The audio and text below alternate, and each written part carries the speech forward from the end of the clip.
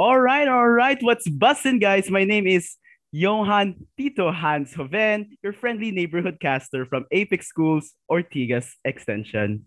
Kamusta ka, Tito? Ay, wait lang, sorry. May background. Um, ayusin ko muna. Um, wait. Ah, uh, hello, Tito. Kamusta ka na? Ah, uh, tayo first episode na ng podcast, no? I will introduce myself first. I'm Ahmed Ahmed Salim Ahmed Iliascas, your pretty boy host from Apex Schools, Ortigas Extension. You can just call me Ahmed because my name, as you're probably thinking right now, could be a mouthful. And welcome to the very first episode of Amplify the podcast.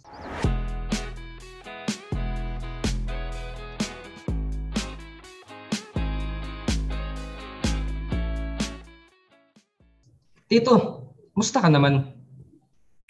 Well, as you can see, I'm doing pretty fine. I don't know. I'm feeling the energy. I'm a bit nervous, but of course, it's it's how things go. We can we can't get that out of our system.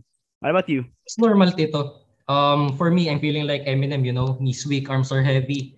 Pero I want to support local, so if that's the case, you can just call me Nips. You know, remember, kids, always support local. Say, Hans, why don't we go ahead and introduce our special guests for the first ever episode? All right. But first, my goodness, it's so surreal. First episode. Anyway, so yeah, yeah, yeah. All right. First episode, we got four guests. Come on, guys. Four. Okay. One, two, three, four. Four guests. Let me introduce uh, the first two. The first one is a former LF of Apex Schools Ortigas Extension. The first, uh, no, sorry.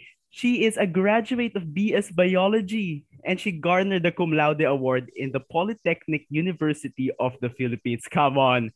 A DOST scholar for her graduate studies, a research assistant in UP Manila under the Philippine Professional Standards for Public Health, Educators Project, naputol ako and the former science learning facilitator. Please welcome Miss Irish Rabano. Yay! All right.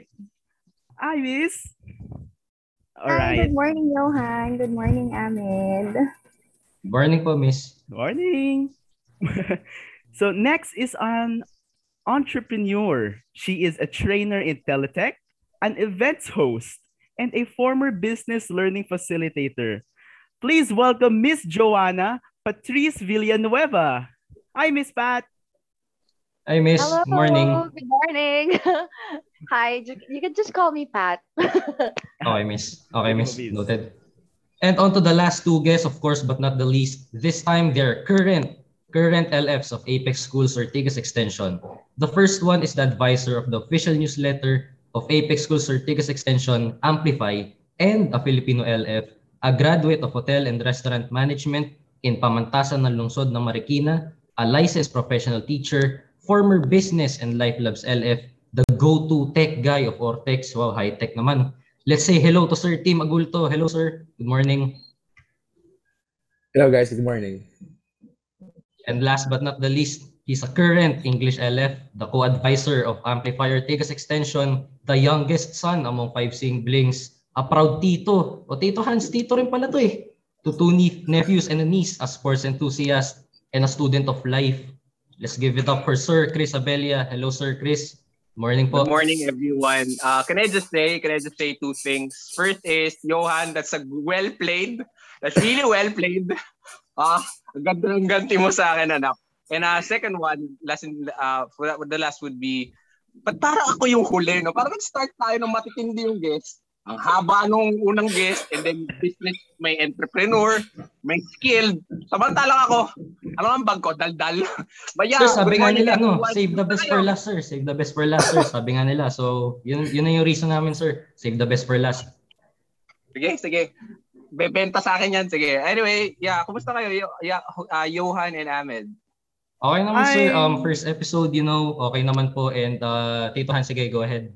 Ay, ako na ba? So, um, I'm also, I'm also doing well, ano sir, medyo shaky but it's okay naman sir. Yun lang. So, let's actually start this. So, again, hello, hello. Thank you for coming to this uh, podcast. Um, I would like to ask, how are you all feeling? Let's start with Miss Irish. How are you feeling, Miss? Hi, ano talaga when I was in excited. I was really excited. And all the while, when you were giving your intro, your good morning, si uh, Johan and Ahmed, Kasi Johan was my ano eh, previous student and then he's also the class president of grade 10. I was, all the while, I was just smiling. Parang nakaka-miss, alam niyo yun, to be in the APEC environment and seeing these two handsome hosts no for today and also the handsome advisors no and the very beautiful Miss Pat no. So it's just very exciting and I'm excited how this um podcast will go. So good luck to all of you all of us rather. Ayun. Thank you so much for that Miss Irish. Miss Pat how are you feeling today? I'm excited too. I'll just copy and paste whatever Irish said and add this. Um I'm so glad that you've come this far, guys. And before I'm just looking at you guys in the faculty room or in the hallways because you're not my student before. I was with senior high school. You were in junior high school back then. But still, I'm so glad and so proud of you because I've been hearing stories from your LFs and I'm I'm just really happy that you are um, like this and you have pulled up this podcast. So great job, guys. Thank you so much, Miss Pat. It's also nice seeing both of you, Miss Irish and Miss Pat. What about uh Sir Tim? How are you naman, sir? Love the hairstyle, sir. Thank you. Thank you, man. anyway, um, I'm fine. Although hindi ako nakakatulog kagabi in preparation for this podcast since we are I'm part of the advisors. So yeah. Uh, so we've been cooking this since last summer and right now, eto na siya. and we are now here in the podcast. So there. Yeah, thank you so much, Sir Tim. Sir Chris, also, hindi, hindi magpapatalo sa hairstyle, sir. What about you, sir? How are you? Yeah, um, all good, no complaints. Um, I just want to say that when Miss Irish has mentioned na guwapo yung mga host, I mean, Hello, saan pa ba magmamana yan, di ba? Siyempre sa parents nila, di ba? I mean, kami, eh, advisor lang naman kami, di ba? I mean, we're just here to support them. Siyempre magmamana yan sa mga kanya-kanya lang parents. But um, I'm just so happy to be reunited actually with um, former colleagues and still friends yan. Um, reunited with Miss Irish. Thank you, salamat talaga sa kanilang dalawa pati rin kay Miss Pat. Um, wag po kayong papadeceive kay Miss Pat. Um, mahilig po talaga magtagalog yan. Um, she's just sounding konyo because she is really a konyo though. Um, let's just pardon her for that. Anyway, Johan, um, Ahmed, let's just start. Sige, um, what, what's in store for the day ba? All right. So first off, I would like to say that's so good to hear um, how you guys are doing right now. So we all know what ha- what's happening right now in our current situation. So the first thing I would really like to ask is and uh, know is how are you all during this pandemic? So Miss Irish, are you there? Let's start with you, Miss. Ako, I think it was a very challenging shift, no, from the pandemic. Kasi right now, I'm currently in uh, in academy ulit. Nag-aaral ulit ako. I'm currently in my graduate school studies. And syempre, the, like you, no, online class din yung platform. So it's it's harder for me because I like being around people and I like hearing my uh, professor's lecture, ganyan. So it's it's kind of a shift for me, but I know how hard it is also for you students. Um, in terms naman, I'm very blessed, no, that my family is safe, no, wala namang nagkaroon ng um, COVID, no, for the past years, which I'm very grateful and blessed. But yung talagang um, adjustment at the beginning, even until now, I think it's really hard for each and every one of us, especially sa mga nag-aaral and mga nag-work, no. Buti nga ako, I don't, hindi man ako lumalabas. I don't often go out because I stay at home syempre to protect din the um, mga maliliit na bata dito sa bahay namin. But I can say it's it's challenging and I think it goes to every uh, one of us din naman. Ayun siguro. But I'm okay. I'm happy and I'm happy to be with you right now. Ayun. All right. Thank you so much, Miss Irish. Ah, you mentioned professor. Miss, are you still teaching, Miss, or are you a are you studying, Miss? I'm if studying. Okay I'm currently on my graduate study. I'm ano, second year na this year. Ayun. So balik ka eskwela, balik pagiging estudyante, balik paghihirap if if you if you think of that way, pero it means more learning, 'di ba? It means more gain for us as ano naman as people. Invest on yourself. Parang ganun. All right. So, thank you so much, Miss Irish. Miss Pat, how are you during this um pandemic, Miss? Okay, so so last year it started right 2020. Um, at first everyone is just inside their homes, and then ayun pinayagan tayong lumabas. So that's the time that my previous company contacted me and wants me back to be a trainer. So of course, gusto ko yung job before pa. If, um, back, way back in 2016, 2017. I just left the company because I want to really um, work in school or teach. So that's what I did. Pero during this pandemic, it's really challenging because I have to work on site. And I'm really thinking of my family, our safety, and all that. But um, just recently, I, I we don't have this work at home setup. So um, I was tested positive. This is the first time I'm telling this to everyone. yeah. Uh, I was shocked you're going to ask that, but I have to be honest because this is what's really happening around us.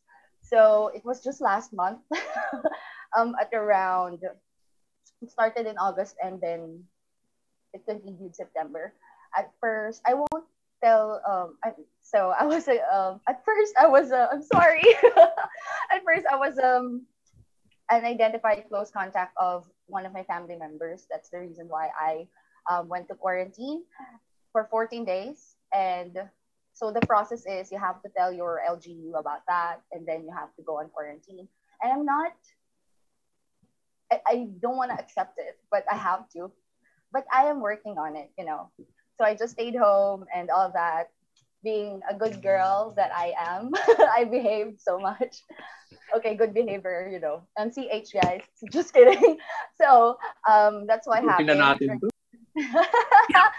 and then, um, and, um, at around September something, August 31st actually, um, I experienced all the symptoms, you know, they just like what they said, though it's just a joke um, hindi kompleto ang 2021 mo kapag hindi ka nawalan ng panlasa. At first, it was just like a joke, but when I felt it, oh my God, I cannot smell the langhap sarap burger yum. You know, I hate the feeling. I love Jollibee. Who doesn't, right? So I was like, hmm. yeah, who doesn't? Right? It's just like looking. So here's the thing: we have, I have to isolate myself, right? So we have spare rooms, but then some of them are being used because we are, you know, following the protocols. And then I was like, okay, so the spare room is just like our tahian. Isipin nyo, you're just inside the tahian with all of that makina. I was like, and then the color of the room and the, the walls of the room is green, avocado green.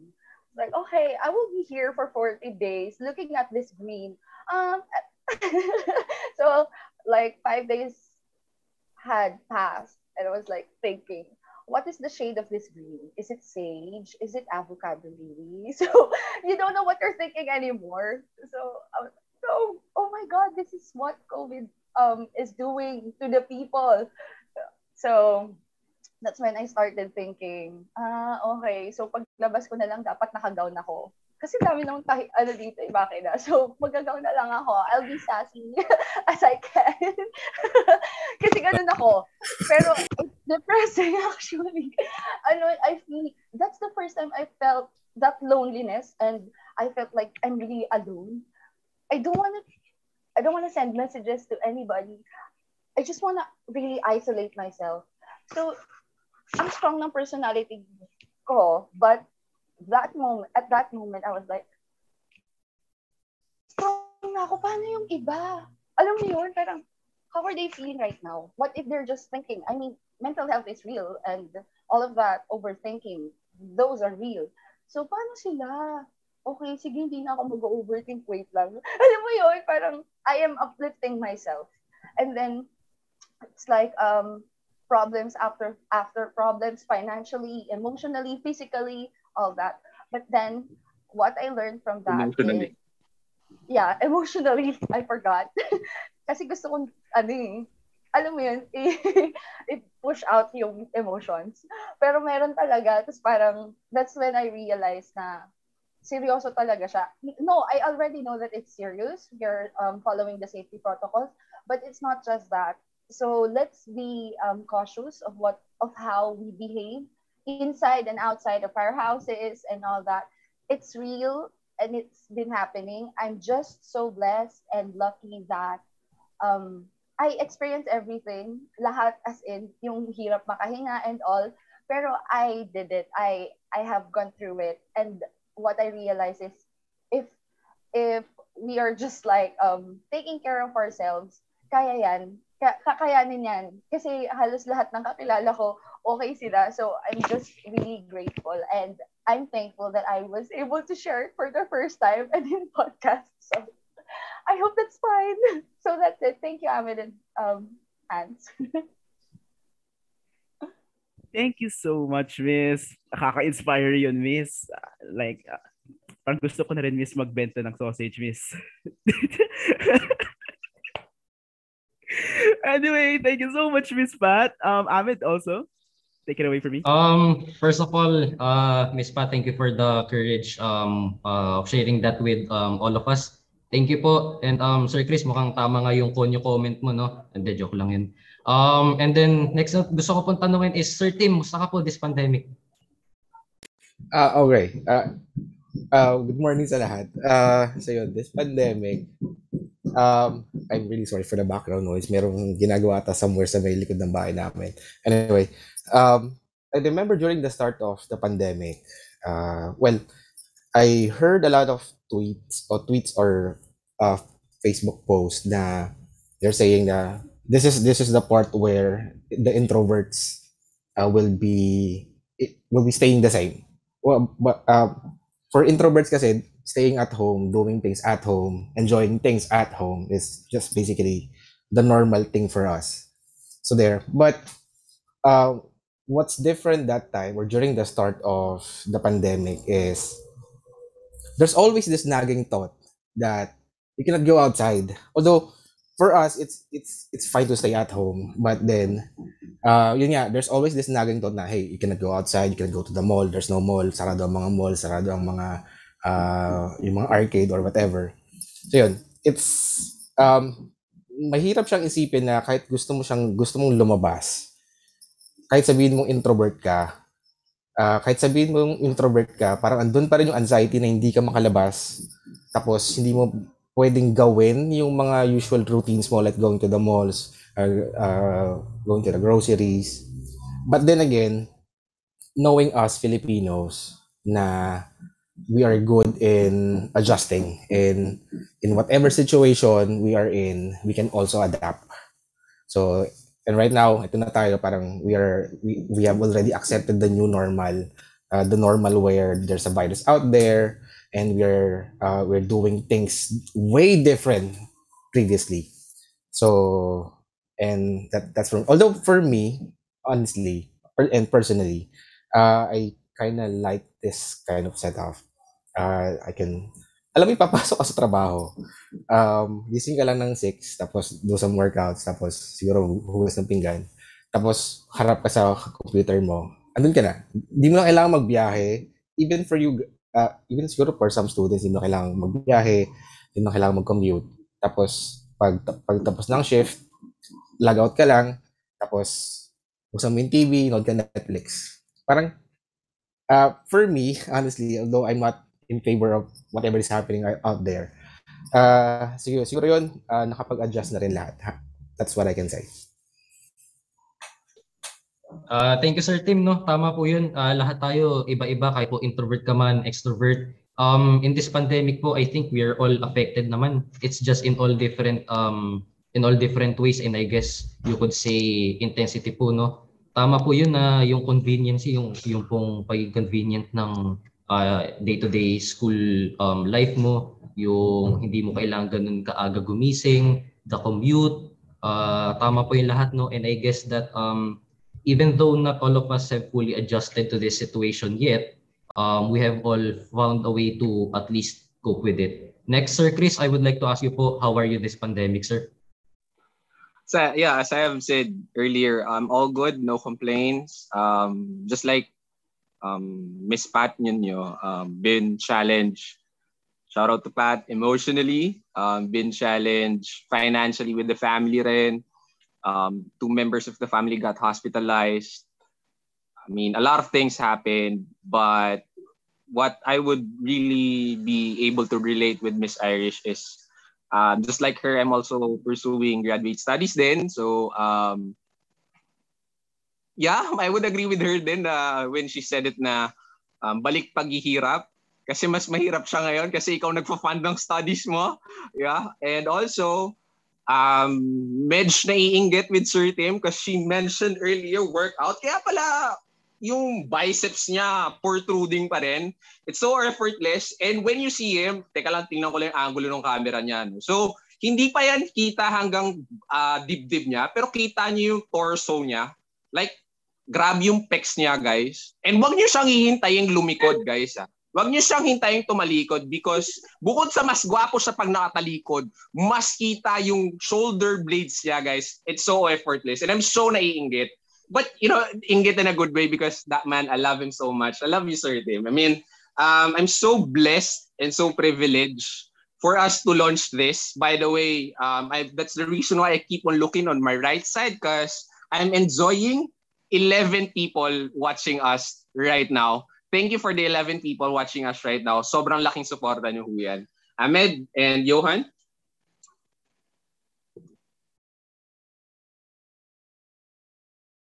Um, first of all, Sir Chris, thank you po for sharing that. No? Um, pareho po pala kayo ni um, Miss Iris na nag-aaral po ulit. Yun nga po, yun na lang yung problema. Salon nyo na yung, yung tuition yung pag-aaral nyo. Pero Sir, uh, Sir Chris, alam pa namang mayaman ka so hindi naman problema sa iyan. Um, and then next, Hans, um, we will, uh, I would like to ask you po. Ano ba yun, Sir Chris? Fake news po yun na mayaman ako. Hindi uh, totoo yun. Okay, sir. Okay, sir.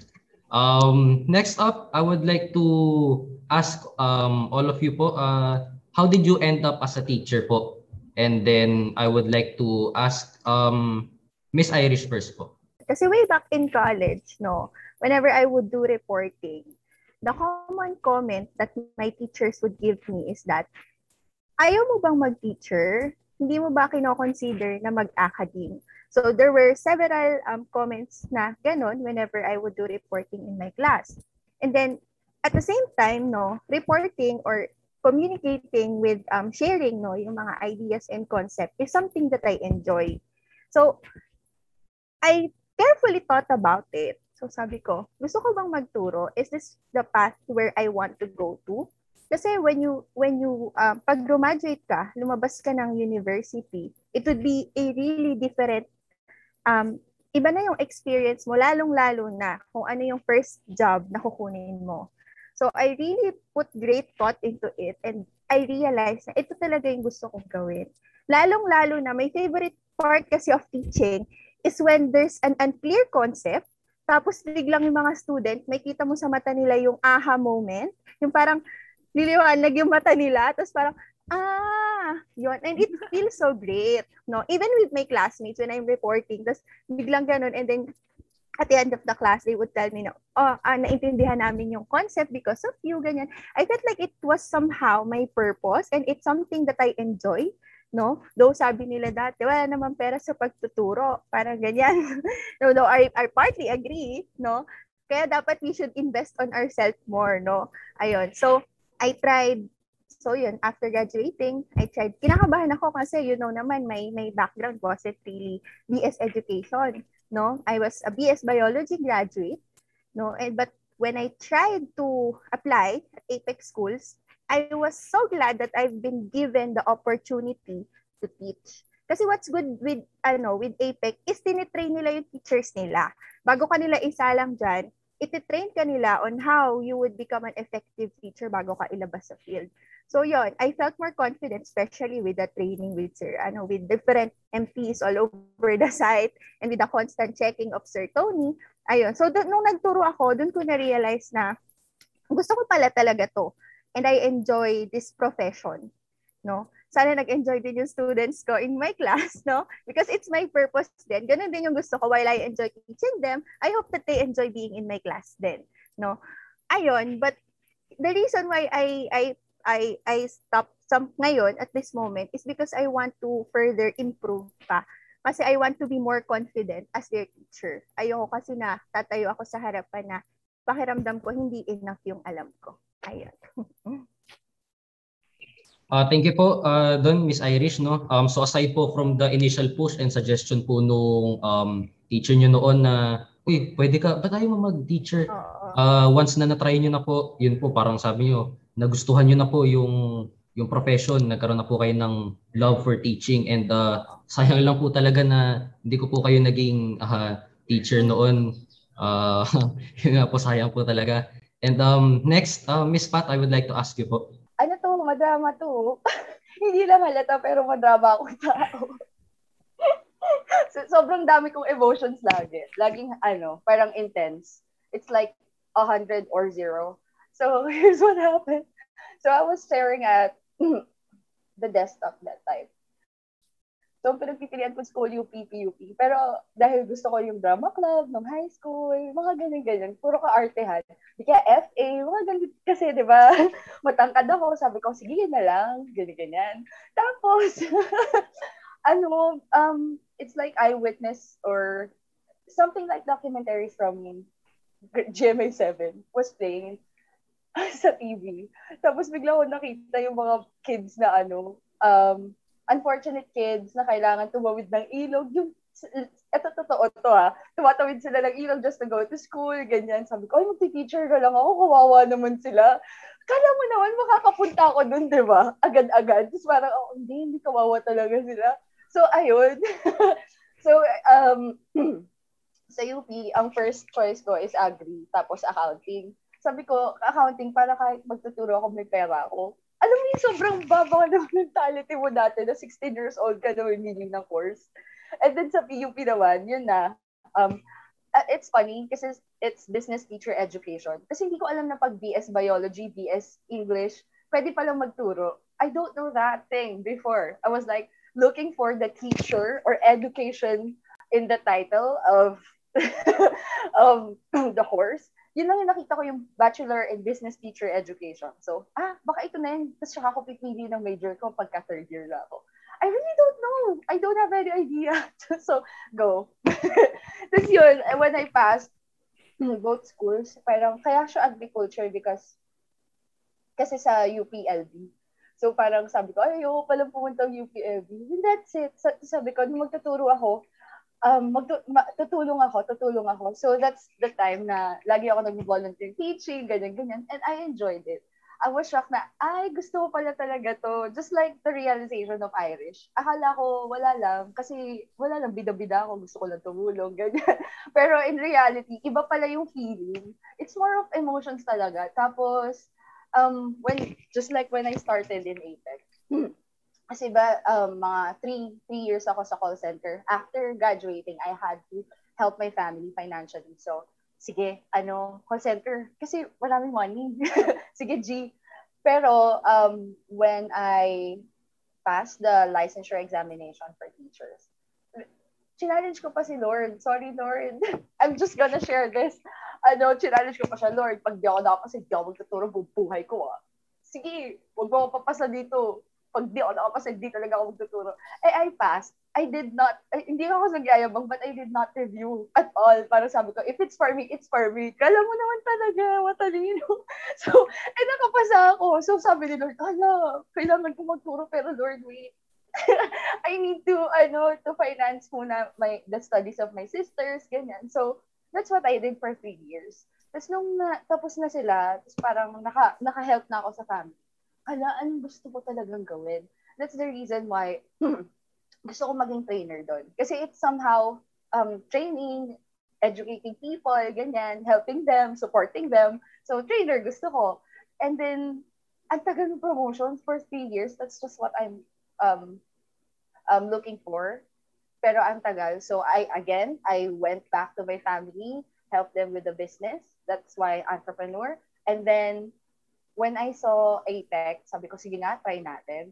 I tried several schools. Nakapasa ako sa lahat, but I chose APEC.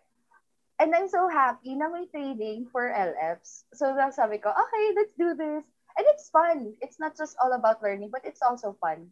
And I like the curriculum of APEC, for real. If I'm going back to teaching, maybe I'll consider APEC again. Kasi I swear, ang ganda ng curriculum nyo guys. So that's it. That's how um, I chose um, EDUC and not only that hanggang ngayon, dahil lang nasa training department, that's the reason why I went back to um, Teletech or call center. So that's it. Thank you po, Miss Pat. Uh, so yun nga po, nagsimula po yung um, love niyo po sa teaching nung medyo bata-bata po kayo, sabi niyo, na, nakakita po kayo ng mga bata na hirap pumasok po, no? Para, parang yung mga kwento ng nakatatanda na kailangan pa nilang umakyat na sampung bundok, nung tumawid na sampung ilog bago makarating ng eskwelahan. And uh, yung po sabi niyo na parang medyo uh, mas salo mababaw pa yung pagkakaintindi ng sa courses natin sa college and whatnot. Nakaka-relate din po ako doon. And uh, yun nga po, na-relate nyo rin kay Miss Irish na, uy, gusto ko pala magturo. Okay pala to. I love this profession pala. And thank you po ulit, Miss Pat. Sayang lang din po na hindi ko po kayo naging LF. Um, back to you, Tito. All right, thank you, Pamangkin. Now it's my turn naman to ask. But before we go there, I would like to um thank the 14 people here already in watching the Zoom. And I would I, I just can't keep this to myself. Miss Irish, it's up to you to guess who it is, Miss. Somebody commented, Irish, Lusog ang pisngi. Ano yan? Grade 9 yan? Divis! Guys, it's just a bad angle. Who is that? It's just a bad angle of the camera, guys. Don't get deceived. I'll post a selfie later. Siya yung madalas nang bubuli sa'yo sa faculty. Sir Bryl! That Bryl? Bryl is my number one basher. Pero miss ko na si Bryl. Hi, Bryl. Hindi matatalo ng pisngi ni Bryl yung pisngi ko. Huwag kayo mag-alala. All right. Um, so, thank you, um, Luke, Rafael Manahan, Patricia Angeline, Sir Tony, uh, Jerica Macy, and Aspecto Lord Francis. Thank you so much for um, coming to the podcast. Now, let's start naman with Sir Chris with a um, beautiful uh, haircut talaga. Di ako makamove on. Sir, what about you, sir? How did you end up uh, being a teacher? Uh, Johan, magandaan din mala ng haircut. Hands down ako sa'yo. I mean, Bembol. Ay, sorry. Um, Ay? yeah. Um, You know what? Before I answer that question, um, can, can, can we give an award to Miss Patrice Nino? Ano ba pwede dyan? Like, a Nobel Peace Prize for charity, congeniality? Ano ba? May mga ganun. Does, does that thing exist? Anyway, uh, to answer the question, ano, um, sabi nga ni Pat, madrama. So, papatalo ba tayo? um, I'm not a good uh, student. All right. But when I was in college, uh, I was pursuing a different uh, program before. I spent two and a half years on a business-related course. Kalma matter ko yung mother ni Ahmed. So Ahmed, let's just shut our mouths kung saan ako nang galing, all right? Um, yeah, I've been spending two and a half years of my life there. On the last two semesters, I failed one subject twice. So, regular semester and then took it for summer, then bumagsak, blah, blah, blah. So, cutting short, either kick out or lipat ng college. Hello po, Miss J. Thank you po sa support. Um, yun, I, I was already in that school eh. And um, it's not a good university for some. But for me, I like the experience there. UAAP school ba naman eh. Yun nga yun eh. Parang I think uh, that would be my reason why I've been spending two and a half years of my life there nang hindi ko alam yung purpose ko because focused ako sa UAAP. Kumbaga yung mga classmates ko na athlete noon, nakaka-stress sila. Samantalang ako, yung mga grades ko, stress din. so doon lang ako nakaka-relate sa kanila. so alam mo yun. And then, um, yun, again, going back, either kick out or lipat ng college or institute. And then um I was torn. So I had I I uh, I sought counsel and then one of the guidance counselors told me and then they have assessed my grade. Um, marami may hindi maniniwala dito, no? Pero maganda-ganda naman po grade ko sa English noon. Alam ko marami pong hindi maniniwala, pero siguro nanay ko na lang maniniwala sa akin. Um, yun, they were suggesting, sige, try mo mag-English course. I was thinking, ah, sige, this specific course. I don't want to say na lang kasi baka ma-cancel tayo, lalabas to sa YouTube, mamaya inamalate ko yung course na yon. Hindi naman, but I, again, I don't want to say that course. And then, um, nung sinabi ko yon, sabi nung guidance counselor sa akin, if you would choose this, um, at that time, medyo mahina. At that time, ah, I don't know now. At that time, medyo mahina yung career opportunity uh, once I graduate. So, kumbaga, the guidance counselor was um, assisting me in terms of my future. I have to look for my future, not just on the moment.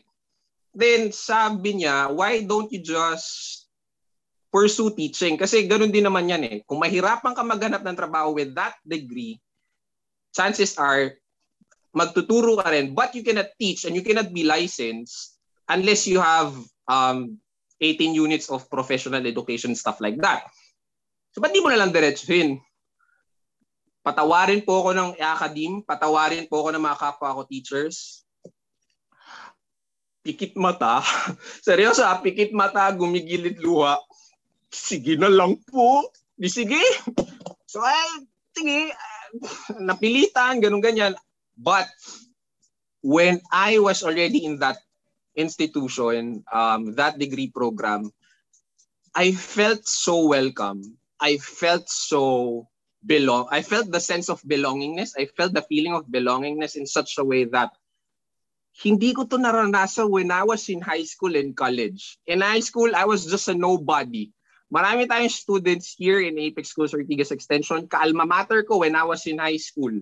Alright? But I was nobody but right there. But when I was here in this institution, in um, Institute of Education, grabe yung um, nakita ko dun yung skills ko. And then after a year, I became a scholar.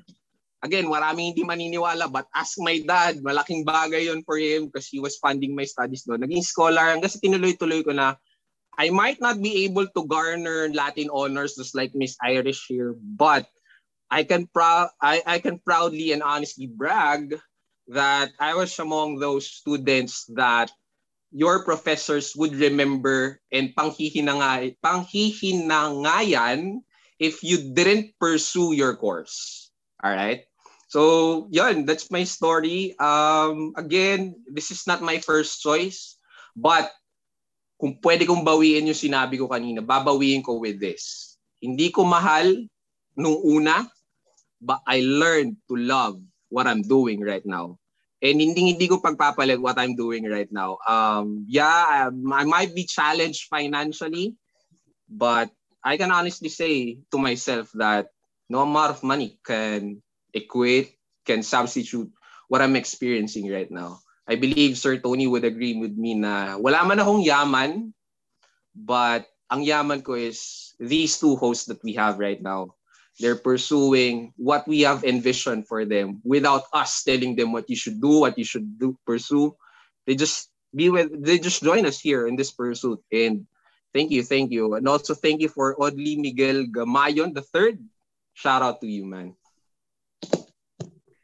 Thank you so much, sir. alam niyo guys, advisor ko yan last year kaya nakaka-inspire yan. Uh, so parang may, I Amen. see a, like a pattern. Teka lang ah. Amen. Yes, sino advisor mo nung grade 7 at grade 8 ka? Aba, sino pa ba sir? Hindi ikaw.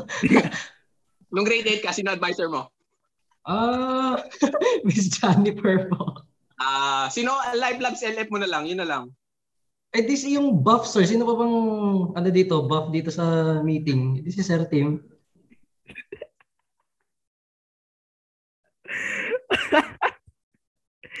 oh my goodness. So, yun nga, yung nakikita kong a pattern is that it's not like a first choice somehow. Or if it was, it um not really into it until you tried it out and then you loved it, love the love the experience and generally love how it's actually supposed to be. Sir Tim, what about you naman, sir? How did you end up uh, being a teacher?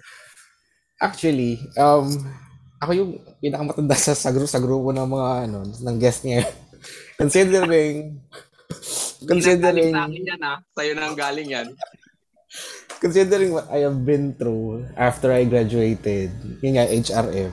Tapos, my first job was, I was an oven man.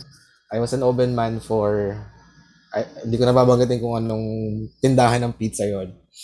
Uh, I was an oven man for about one and a half month. And then one thing I realized during that time, so yun, while habang habang nag-ano ako, habang nag, nag nagsasalang ako ng mga ng, ng mga pizza nan sa oven. And then meron nung ano, meron nung sale sa isang mall. Hindi pa maganda ng pangalan. sobrang sobrang parang naka-autopilot na ako noon while I'm doing the cutting, while while turning the pizza. And then I realized that this is not the job that I want. Uh, I, parang sinabi ko sa sarili ko, I want to get out of this.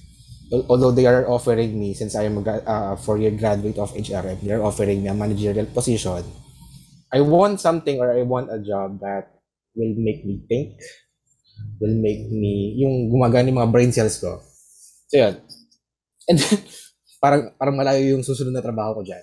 So naging ano ako, naging uh, book specialist ng isang bookstore.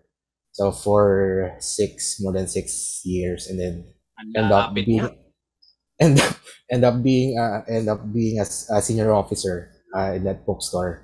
What I love about that uh, that job is I am with tons of book. Every time that there was a delivery, parang it's like a wonderland for me since I really love reading books. So yun. Tapos, and then also there's always uh, a time during, uh, let's say, uh, there's may mga, mga bagong deliveries, may briefing, may briefing. So every day there's uh, there's a staff that is assigned to share something about a book, about a story of a book, let's say uh, a short synopsis of a book, or it can be a self-help. So yun, during those times, um, like Miss Irish, ako din yung madalas na inaalay ng mga ka, mga kagrupo ko pag may reporting. Ikaw na, sir, team. Ikaw na yan. Ikaw na yan, team. Sige na, kaya mo yan. Hindi, ako naman. Sige, oh, sige, okay lang ako. Mabait ako nun eh. Mabait ako nung college ako. Hindi na ba yan? Joke lang. Ayan. Um, so yun. And also, like Miss Irish din, na mahilig ako mag-share ng mga stories. Every briefing, every briefing during nung ano nga, nung nasa bookstore ako, para silang, para lumiliwanag yung mga mata nila pag nagkikwento ako ng mga stories sa mga libro. O sir, anong nangyari? Hindi na, tapos na yung briefing natin, saka na lang, saka ako na lang itutuloy. So then I started to realize na I love sharing ideas. Yun nga, I, sharing stories, lalo na. Alam ng mga estudyante ko yan. Even, lalo na, ad my advisory ko. When I say, oh, story time, nalalaki yan ng mata nila. Tapos, parang, humihinto na sila whatever that they are doing that time. Oh, guys, story time.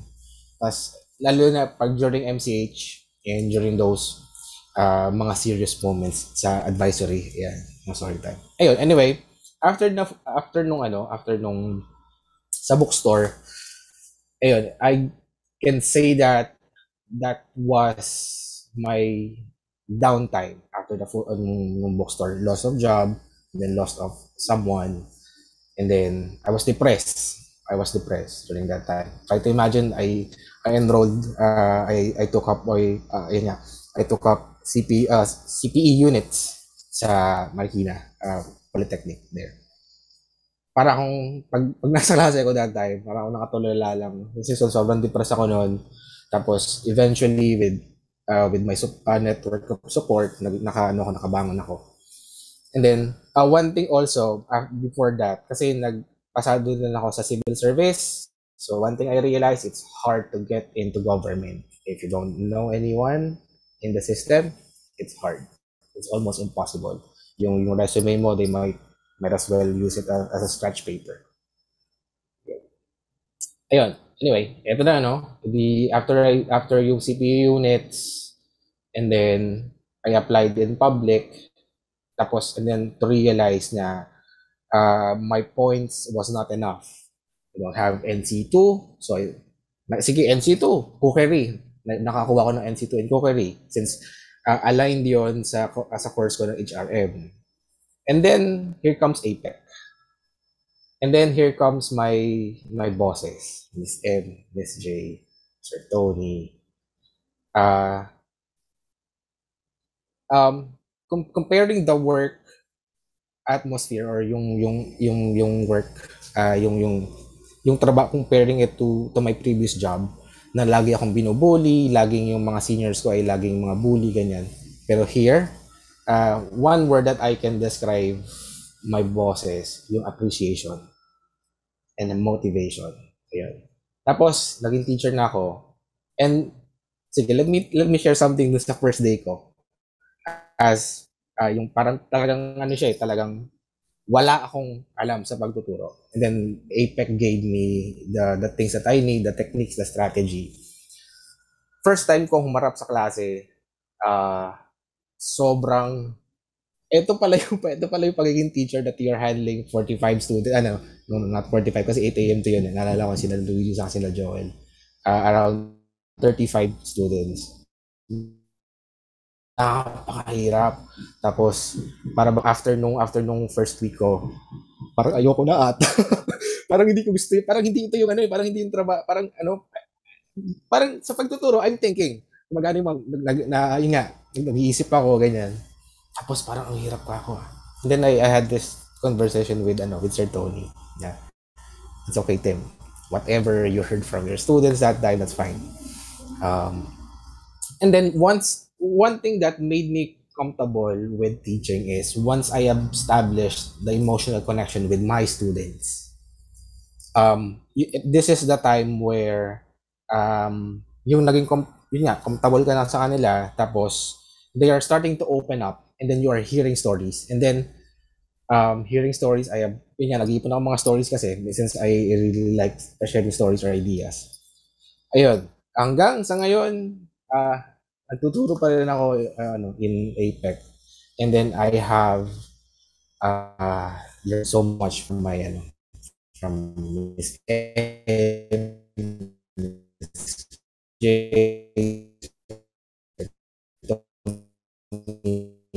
Yeah. So, for nudge to take banger for books. So, Miss J, shout out to you po. Thank you so much. Nakakaiyak nakakainis. Ayun, that's it for me, Hans and Amin. Thank you so much. Yeah. feel ko yun, sir. Actually, so yun nga, sir. And as well as Miss Irish, Miss Pat, and Sir Chris, yung nakikita ko, parang um, teaching talaga wasn't like the first, like the uh, first job that came into mind and then until you guys tried it out there are parts there are some of you who said that it's not it's you think you thought it wasn't for you but as uh time goes on you actually loved what you were doing so nakaka-heart nakaka-touch ng heart naman yun and then yun Ahmed is there anything you would like to add to that um yes actually you know uh, adding to the pattern that you have noticed no para siyang ano eh it's not with the actual profession in name that you fall in love with. It's the experience that comes along with it, you know. Yung, kasi nga, di ba, once you tried it, ay gusto ko pala to. Kasi nga, by, kasi pag titingnan mo on paper, if you look at teaching um, on paper, it's just educating. It's just um, teaching this, teaching that to students. But what you don't know is the actual experience, the day-to-day experience that comes with it, no, Tito Hans. So sa tingin ko, this uh, um, sa pattern na yun, yun kasama rin yun. It's the experience na talagang dun sila nag-fall in love with, you know, sa teaching. That's all, Tito. Yeah, that's exactly what's also in my mind, pamangkin. So anyway, let's go to the next question. Um, I w- we would actually like to know. Let's uh, go back, rewind the clock. Can you tell us how you were as a, as a high school student and a college student? Okay, I can see a lot of people. I can see there are people laughing, covering their mouths. I, okay, now I really want to know. Let's start with Miss Irish. How were you as a high school student and then a college student? Buti na lang, di ako una. Kaya nga, medyo nakaka-pressure ako yung una. okay, so high school student, ano kasi ako eh, very studious, very grade conscious ako kasi yung upbringing ko was that, nung bata kasi ako, my mom would always tell me na, galingan mo mag-aral kasi yung medals mo, ipunin natin, tapos ibebenta natin. Kasi, yung ganun yung upbringing ko. Kasi, when I was, kasi ano lang kami, parang middle, uh, parang mahirap lang kami dati. So, sobrang ginalingan ko sa pag-aaral talaga. Kailangan ko makuha itong mga medal na to kasi magiging pera to. Yun yung sabi sa akin ng nanay ko, no? So, I really tried my best to do well in studying because I felt like it was something that I needed to do in order for me to contribute to the family. No? So, as a child, ganun yung mindset ko. And when I was growing up, I was really competitive no and i really had that ano na parang kailangan magaling ako sa school no so i i was able to bring that until high school so sobrang grade conscious ko so I would be one of those students na laging nagre-review, na nag-aaral, pero hindi naman ako KJ. Ako yung kasali sa mga gulo, pero hindi malalaman ng teacher na kasali ako doon. Parang gano'n. so kapag may mga kulitan, mga asaran, ganyan, kasali, Oo, yung ganyan. Tsaka pag may magulo, pag nandiyan na yung teacher, behave na ako, ganyan. Pero di nila alam, isa ako sa mga nakatapon, nakasira na ganyan. Oo, ganyan. kumbaga, ano lang, kumbaga, I always try my best to have that good image kumbaga sa mga sa mga teachers. Kaya alam ko yan pag sa mga students ko din, yung, yung mga pag nasa klase, oh, studios, studios, ganyan. Pero may mga ano din yan, may mga halong gulo. So I was like that no sa high school magulo I was I belong to the fun but pag yung sa aral-aral talaga no never ko na try mag-cut ng class never ko na try na may hindi ako napasang requirement ganyan. Can you imagine how grade conscious I was? So medyo ang ano ko lang doon baka medyo naiingit nga ako sa iba kasi mas gusto ko sana maging carefree. Kumbaga, sana nagbulakbol din ako ng onte para experience. Gano'n. Pero, ayun, nung, nung nag-college ako, syempre ganun pa din. Sobrang competitive ko kasi feeling ko talaga, ang baon ko noon, education is what will bring me closer to my dreams and to the dreams of my family. So, kailangan kong galingan mag-aral.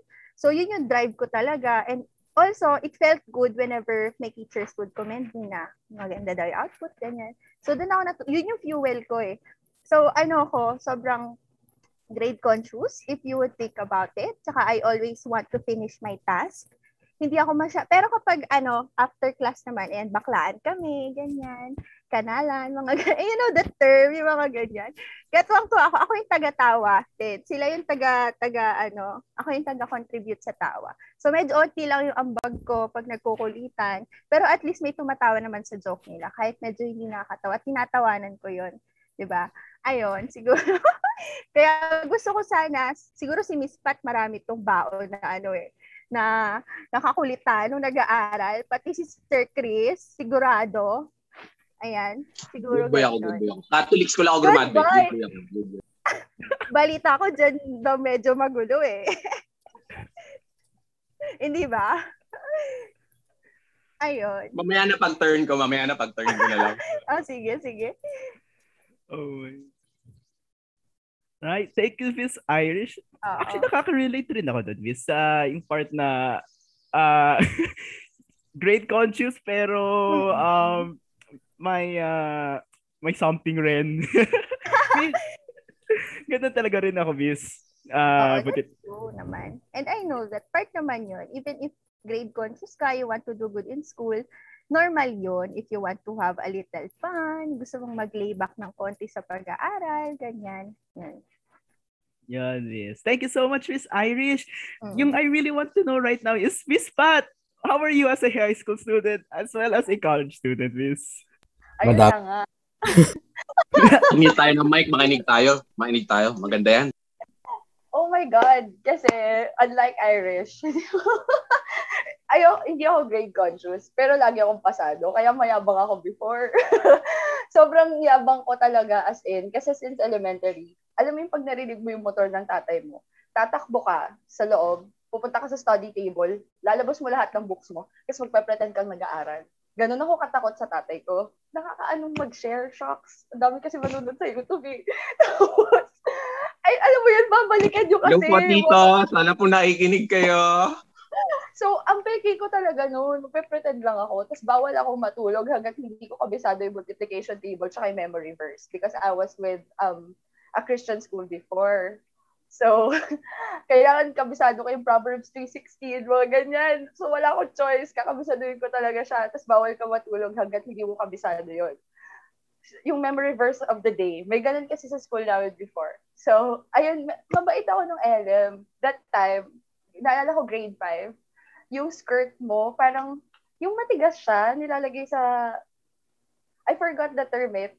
Certain pag naalala mo, ano mo sa akin. Parang hindi siya agad madumihan, nilalagay din siya sa bed sheets, tsaka hindi siya agad-agad magugusot.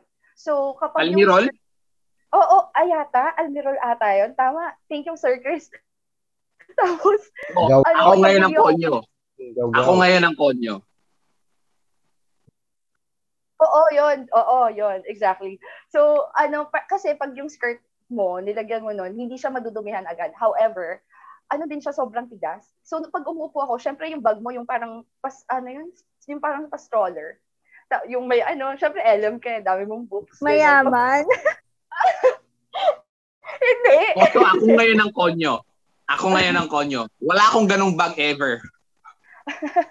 so, may stroller ako, ganyan. Tapos, pagbukas ko, pag um, kukunin ko yung books ko, yung skirt ko, ganun pa rin yung itsura. Sa sobrang tigas. As in, yung parang hindi siya, hindi siya flowy. So, nabully ako. Sabi, ah, pangit ang skirt mo, baba. Kung tumatayo yung palda mo, no? Pag, pag binitawan mo. exactly. May sarili siyang buhay. Ganun talaga as in. Nabully ako noon. Tapos laging, ano, short yung hair ko nung, ano, LM. So, sabi ko, ha, iba ako sa high school. Akala nyo, ah, ganun, same school, pero pagpunta ko ng first year, ano, high school, talagang akala mo talaga boss ako. Ang bully ko pa, ang sama ng ugali ko noon. As in, hindi ako proud, pero ang sama ng ugali ko. Pag ayoko sa mukha, mukha kang palaka, ganun ako, parang baliw. Alam mo yun, parang ewan, ang sama ng ugali ko. Tapos, ako Dati lang yan, Pat. Dati lang yan. They, I, I came to realize naman. As days Hindi kasi parang hanggang ngayon eh. Hindi, grabe ka. Okay, grabe ka. Mas sensitive naman ako ngayon. Pero love you, tita. Love you, tita. Sorry, sorry. Love you. Pero masama yung ugali ko nung high school. Sobra. Nung first year, second year. Tapos kapag may nang, naawa, nang away sa friends ko, aawain ko kaagad. Ikaw, bakit may naano si ano? Ganun, yak! Ang basura, di ba? Ang basura ng ugali. As in, hindi ako proud doon. Pero mahal Miss na mahal Maldita. ko yung Oo, Miss Maldita 22, ganyan. Yung mga ano, prinsesa mo malupet, ganyan. Judgment ka pa nun eh. So, nakakainis, nakakahiya. Pero hindi ako, again, hindi ako proud sa mga nagawa ko nun. And then, I came to realize na mali yun. Tapos, pero nag-aaral ako kung pag kailangan. Kunwari, may quiz yan. Mga ano, 10 minutes before the quiz, mag-aaral ako. Ganun. Pero mahilig ako makinig. Mahilig ako makinig tsaka mag-recite. So, I know na from there, natututo ako. So, lagi akong pasado. Yun nga, mayabang nga ako. So, kahit anong ginagawa ko, kahit nakikipag-away ako, kahit nabubuli ako, basta alam ko sa sarili ko na matalino ako, okay na ako. Yung ganun, ang kamay talaga ng mukha. So, yun. Tapos, um, ayun, hanggang sa third year, lag, lagi ako nasa top. Top 1, top 2, top 3, top 7, always. Hindi ako nawawala doon. Pero, pag napapansin ko na pupunta ako sa top one, bababaan ko yung grades ko. Bakit? Ayoko sa pilot section. Ayoko doon. Ayoko malipat. Kasi baka hindi ko na magawa yung mga gusto ko. Pero nung fourth year um, high school ako, yun, naging, nandun napunta ako doon. Bad trip. Ayoko dito, yung mga patay bata dito. Yung mga ganun. Alam mo ka ako talaga. ayoko dito. Pero, nung nakasama, nakasama ko sila, dun ako, dun ko na-realize na, ay, kalma ka lang, girl. Maayos din sila, tao din sila. High school lang din sila, just like you. Um, same, same, same environment lang din pala. Nasa mentality lang ng tao na kapag nasa pilot section before, um, mga nerd yan, ganyan, hindi, baliw din sila, just like Irish kung ako yung taga-bangka, may taga-tawa doon, ang saya-saya. Ganon. so, ano, I came to realize na, tapos ang hilig kong sumali sa activities sa school. Ganon ako. Papansin ako, eh, parang feeling mo bida-bida, ganyan. so, mahilig tayo. Tapos sobrang friendly ko. Tapos hanggang sa nung yun, fourth year, wala na ako nabubuli kasi lahat friends ko na, alam mo yun, parang nasanay ako na, okay. Tapos yun, since sa Christian school ako, sobrang hindi ako nagmemora noon yung nagmumura, wala akong kasamaan. Ang kasamaan ko lang yung, ayoko sa'yo, mga pala ka, mga ganun lang. Tapos, yung nag-college ako, ayoko sa PUP kasi, Pero nagkaroon kami ng financial problem as a family. So, wala akong choice, sige, PUP tayo, mababa yung tuition fee, let's do this. Pero yung first day ko doon, ayoko talaga. Tapos alam mo yung napakasaway mo, pumasok ko ng school nakasando. Wow, ang galing naman. ah! I'm not, again, I'm not proud of it. First day, nasa chairperson ako tsaka sa dean. Kasi nakasando ako. Alam mo yun, parang baliw talaga. Tapos edu, ang galing, ang talino. oh, sorry. So, feeling ko ang, ang sama ko talagang tao before. Kasi ako yung ano, ako yung nag-instigate lagi na, or nag initiate lagi na. Tara, Kating, ako yun. Ako yun. Tara, Kating, kaya natin yan. Ganon. Ako yun. I'm that person. I'm that kind of student. Pero makikita nyo bigla, magugulat ka bakit pasado ka? Bakit ganyan ka? Sabi ko, ewan ko, nakikinig kasi ako kahit nagkakat ako eh. Kasi nagkakat ako pag sure ako na alam ko na yung, ano, yung lesson. Nandaya ako rin eh. So, ganun ako. Tapos nagiging sister ako hanggang sa hindi ko siya magawa sa accounting.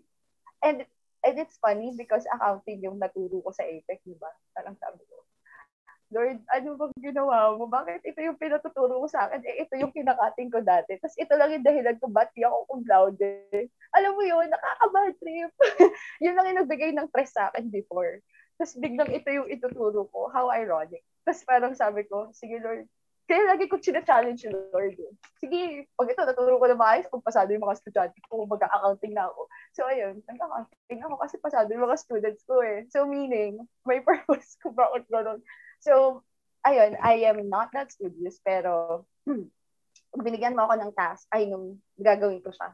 And gusto ko maayos, gusto ko organize, gusto ko, ganun talaga ako. Um, baliw ako, and I have a lot of friends. Hanggang, since high school, hanggang ngayon, friends ko sila. Um, ninang ako ng mga anak nila. yung mga college friends ko. Hanggang ngayon, ninang pa rin ako ayun, hanggang ninang muna ako. yes, na ninang, no? Pero wala kang ka-partner na ninong? Oh! Sorry, sorry. Bastos ka talaga eh. Ewan ko dito. Tanungin nyo na nga to. Pero ayun, I am that kind of um, student. Baliw ako, but um, I'm a responsible student. Kahit na nagkakat ako, I know for a fact na dapat maayos yung grades ko. Kasi hindi ako magwawalwal hanggat babagsak ako. Kasi hindi pwede. Kasi lagot ako sa parents ko. Pero wala akong matutubos na medal just like Iris. wala akong patutubos na medal. Yan yung goal ko, Miss Pat. Sana pala nakitropa ako sa'yo sa fifth floor. Ay, sa third floor pala kayo. No? Third floor. Ah, ah. Okay. Pero hindi eh. Ma- ma- malayo yata yung ano natin. Baka hindi kita na- naabutan sa school. malayo yung gap. So that's it. Thank you, Abed. And, malayo alin? Alin? Alin yung malayo? Yung gap, matanda na ako, okay? ah, yung uh, nililinaw lang. so that's it. Thank you so much, Miss Pat. Nakikita ko. Parang there's a there's something that gets worse and worse and worse and then pero constant pa rin yung responsibility. But I would also like to um shout out to Miss Mariel. Hi Miss Mariel. Um Pamangkin, what about you? Please take it away for me. Um first of all, no, thank you po again to Miss Irish and Miss Pat for that and um ang napansin ko lang kay Miss Pat, para mahilig siyang i-challenge si Lord eh, no? Madami siyang challenge kay Lord. Para ring, para ring medyo madalas yung pag-challenge eh, mukhang... Mukhang hamon, no? Oh, madami, madaming hamon, sir. Madaming challenge. Oh. Tsaka yun nangyari nga, parang naging ganti ng api arc eh, na yung ikaw muna yung nabully, tas after mga one year, ano, ikaw naman yung nang, nang bubuli. And um, Uh, I will move on now to um, Sir Tim. Sir Tim, ikaw naman po. Um, siguro for me, since na for for Miss Irish and Miss Pat, they have shown yung yung extreme ng isang yung isang extreme ng isang student na masipag mag-aral, yung maulit. Siguro let for me, let me show you the other extreme. Yung tahimik lang, yung tipong um, pag umalis yung advisor na nasa isa nasa isang upuan lang siya. Pag balik ng advisor, nakaupo pa rin siya doon. Ako 'yon. Uh, that was me during my elementary. But nung I remember this during my grade 1. Since yung eskwelahan kasi namin, um, siguro mga 5 minutes away lang dun sa bahay namin. And every time I go to school, uh, sinisilip ko muna whether kasi si si Miss kasi na that time is not not always around. So every time na wala si Miss, kasi there's a tendency that we need to join the other section. What what I did during that time is tinatakasan ko yung gwardiya sa school. So, so harap-harapan kong tinatakbuhan yung gwardiya kasi yung siguro yung mga yung siguro mga isang di pa yung lawak ng gate. Tapos nakatayo lang siya dun sa may gate. Tapos ang ginagawa ko tinatakbuhan ko lang siya. Tapos umuwi ako ng bahay na. yun. Uh, that yun, yun ako nung grade 1. In terms of May grades naman. May tayo sa patintero ngayon. Okay. so during nung, nung elementary, uh, I don't know if alam nila Miss Pat or yung, yung salitang puro palakol na grades. Gets niyo yun? Puro palakol. Sige. Uh, Miss Irish, alam niyo ba yung pag sinabi yung puro palakol ang grades? Or Miss Pat? Nasa line of 7. line of 7. Aha, aha. Oo. Siguro, nagkaroon ako ng collection noon ng puro palakol. Uh, na, nauso yung gun bomb noon. Kasi parang ang ranking so, parang axe eh. Puro naka-double axe ako lagi, 77. Ayun. Uh, tapos nung high school, still the same timid boy, parang timid, pun intended. Ayan. Uh, still, pero nung college, medyo nag, ano, medyo nag-level up ko. Medyo late bloomer kasi ko. Nung college lang ako nagkaroon ng mga close friends talaga. This is where I started to uh, ex- express myself since I'm in the hospitality industry, di ba? So I need to have that kapal ng mukha to face the customer or to assist to whatever job or job in the future that I will be uh, doing. So there. Um, what else? In terms of sa pagiging makulit, hindi naman. Actually, during elementary days and high school, I'm elementary ako yung lagi nabubuli. Uh, ayun. Actually, naalala ko, pinakain ako ng mga klase ko ng green peas na galing sa kanal. Sabi niya, Tim, kunin mo to. Bigyan namin sa ito. Di, oh naman, sige, sige. Bagong transfer kasi ako noon. Hindi kain ako. Nakita ko yung reaction ni Pat. Tapos nung nag-high school na ako, ako naman ngayon na nagpapakain ng green peas. The joke lang. Ganti so, yun, ng uh, officer. Ko yung pagpuli ko hindi umabot sa ganyan ha. Hindi, hindi ko kaya. hindi, grabe hindi parang kasama hindi naman yung physical, grabe. Sige, depend mo lang ano po lasa sir Tim. Depend ano mo lang sarili mo. Depend mo lang sarili mo. Sir, how did yeah. you know na galing siya sa kanal? Kasi Serious sinabi lang. nila. Sila, nung, nung kinain kasi inaantay nilang yung moment na kainin ko yung green peas. Parang syempre, itatakot mo sa bibig mo yun eh. Tapos, bigla sila nagtawanan. Sabi niya, eh, eh galing sa kanal yan. Bihira talaga ka ako. Sir, anong yeah. lasa ng kanal? oh, sir, anong lasa? one, one thing na, one thing na I can remember during that experience is, yung green peas niya, basa siya. Sa, yun nga kasi galing siya sa kanal, pero the same the same taste pa rin as your normal green peas. So, sabi ko, gaganti talaga ako sa high school ko. Joke lang. Naging mabait pa rin naman ako nung high school. Pero, I started to, ano nga, uh, yun nga, I started to having friends. Although, during nung, nung second year high school ako, one thing I realized, kapag nasa higher section ka, much likely you will have fake friends.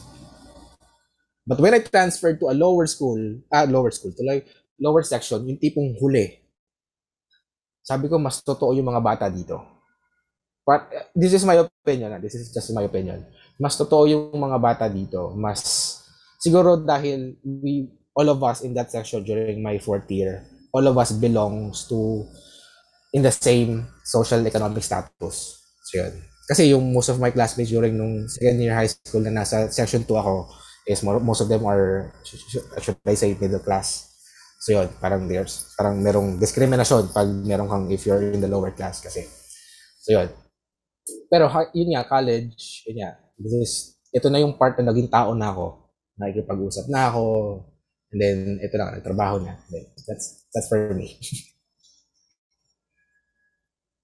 Thank you. Thank you po, Sir Tim, no? Uh, sana po masarap yung green peas. Um, and then next, I would like to ask Sir Chris. Ikaw naman, Sir Chris. Alam ko marami kang makakwento. Sir Tim, baka new learned skill ng mga bata yung pagpapakain ng green peas na galing sa kanan. New oh, ano, no. new bullying technique unlock. Diba? Oo nga. Kaka, kakakwento mo yan. Pag talaga meron na sa, sa hospital dahil napakain ng something. Mga bata, huwag yung gagawin yun. Tapos pag tinanong, saan mo natutunan yan? Hey, Sir Tim po. um, yun.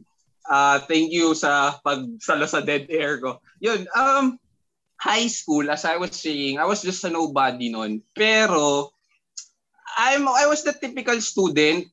Hindi, well, sige, ganito. I, I've, I've experienced bumagsak din. So, ewan ko, parang uso sa akin bumagsak. In love life, in, ay, sorry, Basta, so, yun, uh, naranasan kong bumagsak. Like, ito, sige, I have kwento, quick kwento. When I was in second year high school, grade 8, ng mga pa- nitong panahon yung Ahmed and Johan. Ito dahilan ba't ako siguro naging English teacher. Um, mathematics, um, maybe some of you don't can really um, relate. Pero sa mga co-teachers ko dito, the teachers who are listening, watching us, maybe they could relate eh. Um, first grading, my grade in mathematics nung grade 8, ah, nung second, second year high school ako was 71.30.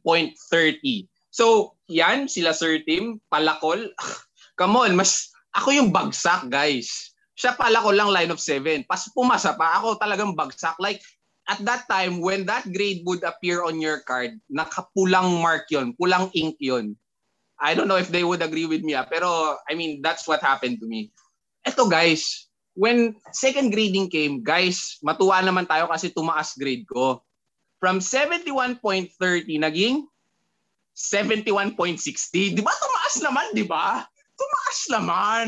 I mean, hello. So I I well, um praise God to my parents. Um alam al, al, grabe yung galit na naramdaman ko noon kasi hindi ko sila masisi. They saw how bulakbol I was. So they still love me for who I was. In-enroll ako sa tutorial. Ako naman, oh, sige, uh, ang hirap pala ng ganito, pula yung grades mo. So, yun, um, eventually nabawi ko rin naman, but hindi na naulit during high school. Hindi na naulit during high school. Kasi yun nga, again, on college, uh, doon ako uh, nakaranas ng bumagsak ulit. But, um, quick kwento rin in, yun nga, in college, ganun ako, UAAP nung first two years, ganun. Even nung mga last even nung nag-champion yung school namin noon, I was still in UAB but I was in the College of Education na by that time. And mo, as in yung buong lineup na yon yung 15 players, kaklase ko. So, um, good thing na lang din, um, I was so thinking about my scholarship na by that time. And ito walang halong pagyayabang. Ah. And I am not condoning this, hindi ko pinopromote to siguro sila Miss Iris, sila Miss sila Sir Miss Pat. Um nung high school kami, ah, hindi ngayon. I'm not against the curriculum or what. I'm just stating the reality. Please wag niyo ko i-cancel. Um when I was in high school or when we were in high school, hindi ka mag-aral, pumasok ka lang, papasa ka. Alright? As long as may nagagawa ka, pumapasa yung mga quiz mo, ganun. Eh ako rin, hindi. Talagang wala eh. I mean, araw na examination, hindi ako nag-aaral. So talagang wala nangyayari in college, doon ako sinampal ng realidad na wala kang aral, Brad, seat work lang babagsak ka.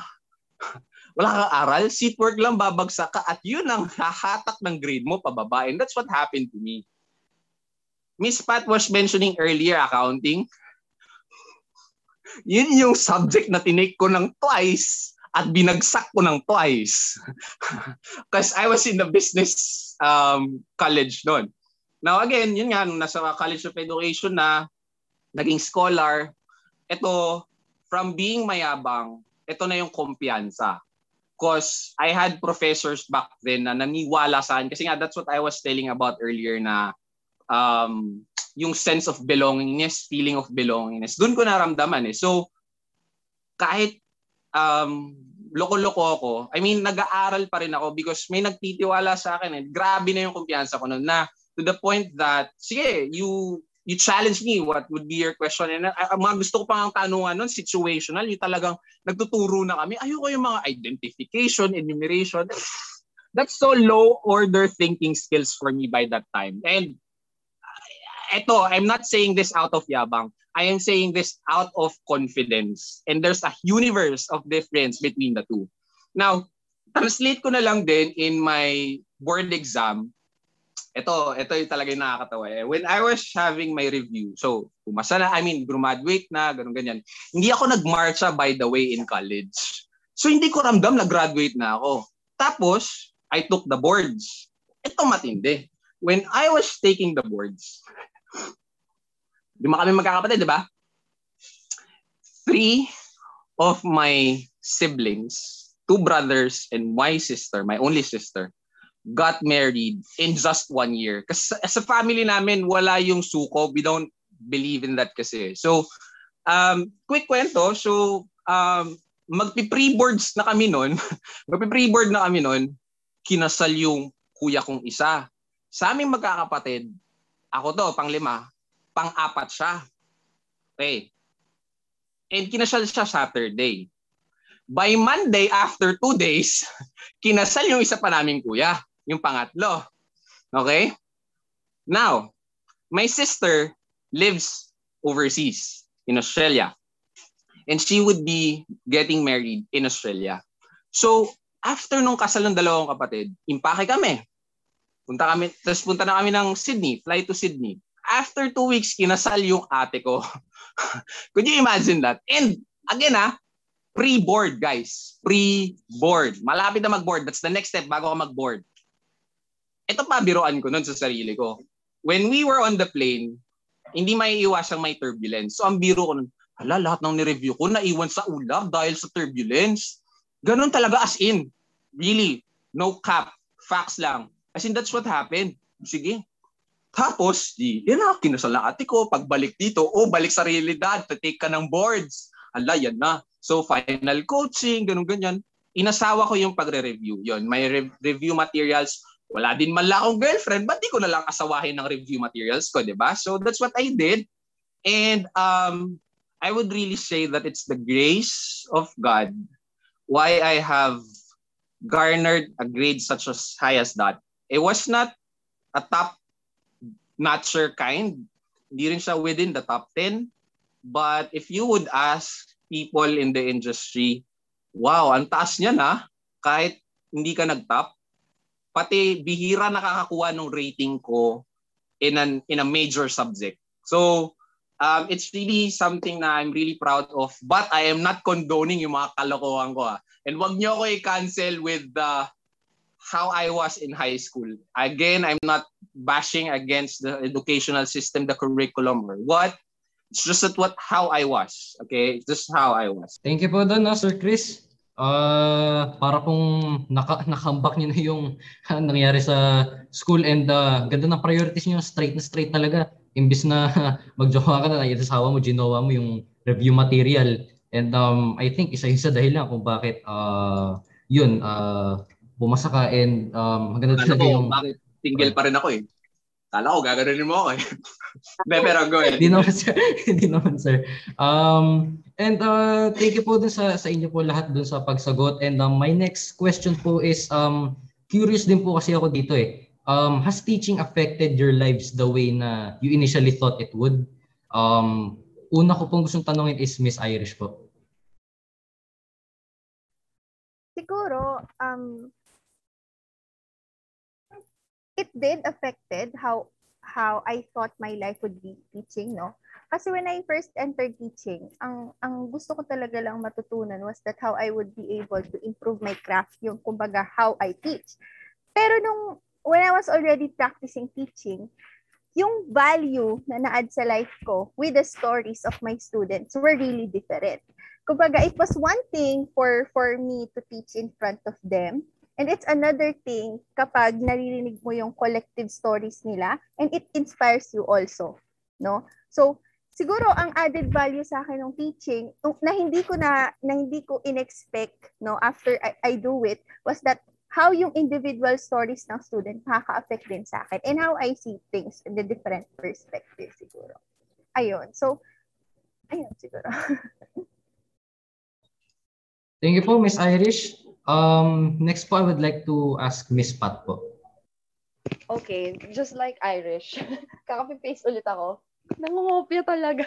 Hindi, dati nagpapakopya ako. So, ngayon ako naman yung mga well, um, ayun. Uh, akala ko rin ako lang yung mag improve But teaching is like um, helping the others improve as well doon ko na-realize na sobrang ibang-iba talaga yung mga tao. Ibang-iba yung stu- si student 1 kay student 2 kay student 3. Kahit iisa lang yung klase niyan, Even though pare-pareho pa yung ranking niyan. Kahit pare-pareho silang naka 90%, yung perspective niyan, iba. So, from those um, differences, we as teachers, we really learned a lot from you and we really are thankful. Kasi iba-iba kayo. Kasi kung pare-pareho kayo, sobrang boring nun.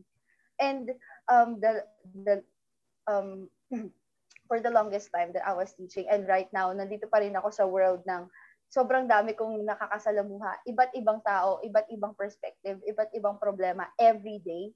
Um, Doon ko na-realize na we should always be kind at all times. No matter how you feel, no matter um what you feel, kung feeling mo talaga ano hindi ka magiging kind today, wag ka na lang lumabas. Umabsent ka na lang, kumalma ka sa bahay hanggat sa paglabas mo, yung okay ka na kasi iba yung um, impact ng teachers sa students. Iba yung impact nung nung taong you look up to na everyday nakikita mo siya tapos biglang na, naiba yung mood ni kunwari ako naiba yung mood ko for the day mararamdaman niya ng students. Kahit magkakaiba yung and ayun pa magkakaiba yung perspective nila. So from there I realized na um it's we're not pretending actually but it's okay to show um your best foot forward lalo na sa class So, it's fine na, kasi tao lang din naman kami. And we realize na, ayun, ganun talaga eh. Um, we're changing, we have different views, we have differences. Um, just always be kind to everyone kasi you don't know their baggages. So there. That's it. That's what I've learned. Thank you, Miss Pat. And um, I agree din po no, na iba-iba po tayo kahit um, sabihin mo we share some similarities with each other, um, deep inside po iba-iba pa rin tayo ng views, perspectives, and um, sometimes it, it is what it is, no? Um, and we have to be kind always to each other. And um, Tito Hans, back to you. Yun nga rin, I, actually, I agree with, with Miss Pat and with, uh, with my pamangkin, syempre, na, yun nga, uh, nafe-feel rin natin na if the LF or the teacher, no matter what school is in different mood, parang nag-iiba rin yung atmosphere in the class, no? And kasi also agree that everybody is different, each and everyone is unique. Gets nyo po? Okay. Um, yun. Sir Chris, how about you, sir? Sorry, lutang ako. What's the question again? sir, ah, uh, Has teaching affected your lives the way you initially thought it would? Yan, sir. Lalim yung tanong. Nakakaya naman na English teacher ako tapos papatagalog ko pa. No? Sige na nga, sagutin ko na lang. Ano, um, well, yes and no. Yun na lang. Yes and no. Um, yes, it met my expectations na in terms of finances, talaga namang, alam ko naman na by before pa eh, walang kikitain. I mean, meron man di sapat. No, kasi, um, yeah, I was expecting that, alam mo ganito kasi yan eh. Um, sa trabaho namin, whether we like it or not, makaka-influence at makaka-influence kasi. And, um, yung term na influencer, sorry ha, not to cancel anyone or not to brag on anyone, not to demean anyone. Before pa ma-come up yung word na yan, parang kami na yun eh. Sila Socrates na yun eh. Sila Aristotle na yun, sila Plato na yun eh. Um, sila Jesus Christ na yun eh. Influencer eh. I mean, I mean, you know, dati pa yan. And, um, siguro kaya ako nasabing no in terms of influence kasi it exceeded in fact my expectations in term of in terms of influence. Like si Ahmed like ano ko yan? Um siya kumbaga I can call him Ninong in such a way that siya yung buminyag sa akin in uh, APEC um siya yung buminyag sa akin in terms of teaching kasi student ko siya. And um there's this co-teacher namin nagsabi sa akin hindi bagay sa yung maging advisor ng grade 7 kasi yung confidence level mo sobrang taas and nothing wrong with that. It's just that yung students na namamana yon and they have seniors ahead of them. So itong si Ahmed, not to demean him, hindi niya kasalanan to ah. Siguro akin yon. Um, meron siya yung angas na hindi ko masisisi kasi talaga namang maangas si Ahmed. It's in a good way. But syempre, bata pa si Ahmed. So minsan hindi niya makontrol yon And again, hindi niya kasalanan yon So when that happened, grabe ko, grabe yung ganong influence, no? Na hindi ko naman sinasabi na maging maangas siya. Hindi ko naman sinasabi na mag uh, chin up lagi siya tapos laka hyperextend yung mga extremities niya kada maglalakad siya. No, that's not Ahmed. Ahmed aangasan kanya with his performance. Ganon. And um ka, ka sorry, ah, kaya niya maipagsabayan pa no dati pa eh, mga grade level ahead of him. And minsan, na i-misinterpret siya ng ibang LFs na ang yabang nitong hayop na to kundi dahil porket matalino. Ganon. Again, hindi niya kasalanan yun. Hindi niya kasalanan yun. So, yung influence ko na yun, na parang it stopped me. That's why I was thankful that I was assigned into a senior high school naman una grade 12, yan, kung kilala niyo sila Kuya John Dave Libutan ninyo, yun yung tipo ng tao na 6'2 ang height, pero sobrang timid. Like, sobrang tahimik. But when I was, I became his advisor, hindi pa rin siya maangas. Soft-spoken pa rin siya. But, grabe na yung confidence ng tao in terms of presentation. Before, um, galing sa kanya yun, na hindi ko pa siya student noon. When he was in grade 11, half of the school year nag-cut siya. But when he is he was in grade 12 na, grabe yung I mean sila Miss Pat nyo. I think he Miss Pat nyo would agree with me na grabe yung performance ni David Libutan noon because again, hindi ko binibigay yung credit sa akin na may skill yung bata. But I guess somehow my influence has again influenced that. And sa, bahala na kayo mag-judge kung good influence ba ako o bad influence. Now, last, Johan. Um, Johan is skilled. No doubt about that. No cap. We can't question that. He's skilled in hosting. But, kaya niya bang mag-adlib before? I don't think so. And I think lang naman, again, I hope I'm not bragging here, hindi ko tinitake yung credit. Maybe siguro yung bilis ko mag-isip ng linyahan, maybe may innate na yun kay Johan before.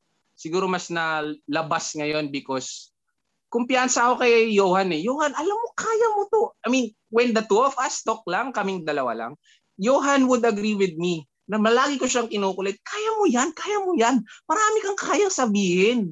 Na, I mean, matino ka, yes, you got that good image, but at least you have your other side with you. And I don't think that's bad na parang it hosting naman eh, hindi ka naman nang bubuli. And don't just cross the line na lang. Tipong ganon. So, again, yes and no. Yes, in terms of finances, it has met my expectations in such a way na hindi sapat ang kinikita. But no in such a way that it's in influence na it exceeded my expectations in terms of influence na hindi ko inaakala. Ito na lang ah, yung gantong influence ko, influence namin ni Sir Tim, Miss Pat, Miss Irish, tingin nyo mabubuo tong podcast na to without that influence coming from us. And sorry ah, ibabrag ko na rin lang, influence ng parents namin, influence nino, Miss M, Sir Benji, Sir Tony, maraming maraming salamat po sa inyo. Miss J, how can I forget? Miss J, how can I forget? Those people, grabe yung influence, kumpiyansa, trust, everything. Yun yung masasabi ko eh. That's where it exceeded and it um, it didn't meet my expectations. Yan. Thank you so much, sir. Nakaka-heart, nakaka, ano naman, sir? Heartwarming naman ng mga messages niyo, sir and miss. um, so yun nga. Ahmed, what do you, do you want to add something to what they said? I'll be last. Um, well, first of all, dun kay Sir Chris, no, syempre, nabanggit ako. I think I should um, say something, you know. Um, and I would like to say na, oo nga, tama yun confidence ni Sir Chris nung grade 7. I mean, hanggang ngayon naman. And um, hindi naman bragging yun. It's far from bragging. It's just um, being convinced and you know, nakatulong sa akin, um, I would say, positively. Yun nga sabi ni Sir Chris na para naging maangas ako and um, in terms of performance din and I can say again not bragging na nakakasabay nga ako noon and um, I think it's all um, thanks to Sir Chris and um, Anyway, sige, I'll answer the question. Um, for me, I'll, I'll make this a real quick one. Um, for me, what did it change me or how? Uh, first, uh, before I end up being a teacher, I realize, uh, I think that whatever amount of patience I have is enough as a teacher. But then when ando na as a teacher, I realized that that patience alone is not enough. Um, I realized that it should be paired with understanding, and that the word understanding, since I started as a teacher in APEC, means a lot to me. Uh, understanding um, is also somehow related to learning, learning in every situation, in any person, in any uh, in, yeah, in any circumstances, there's always something to learn there, which somehow widens or broadens my understanding of myself, the people around me, their behaviors, and well, parang in general, parang yeah, the, the understanding of everything, I guess. That's it for me. Thank you, boys. Thank you so much, Sir Tim. So let's uh hmm, how do I say this? Let's go to the next question.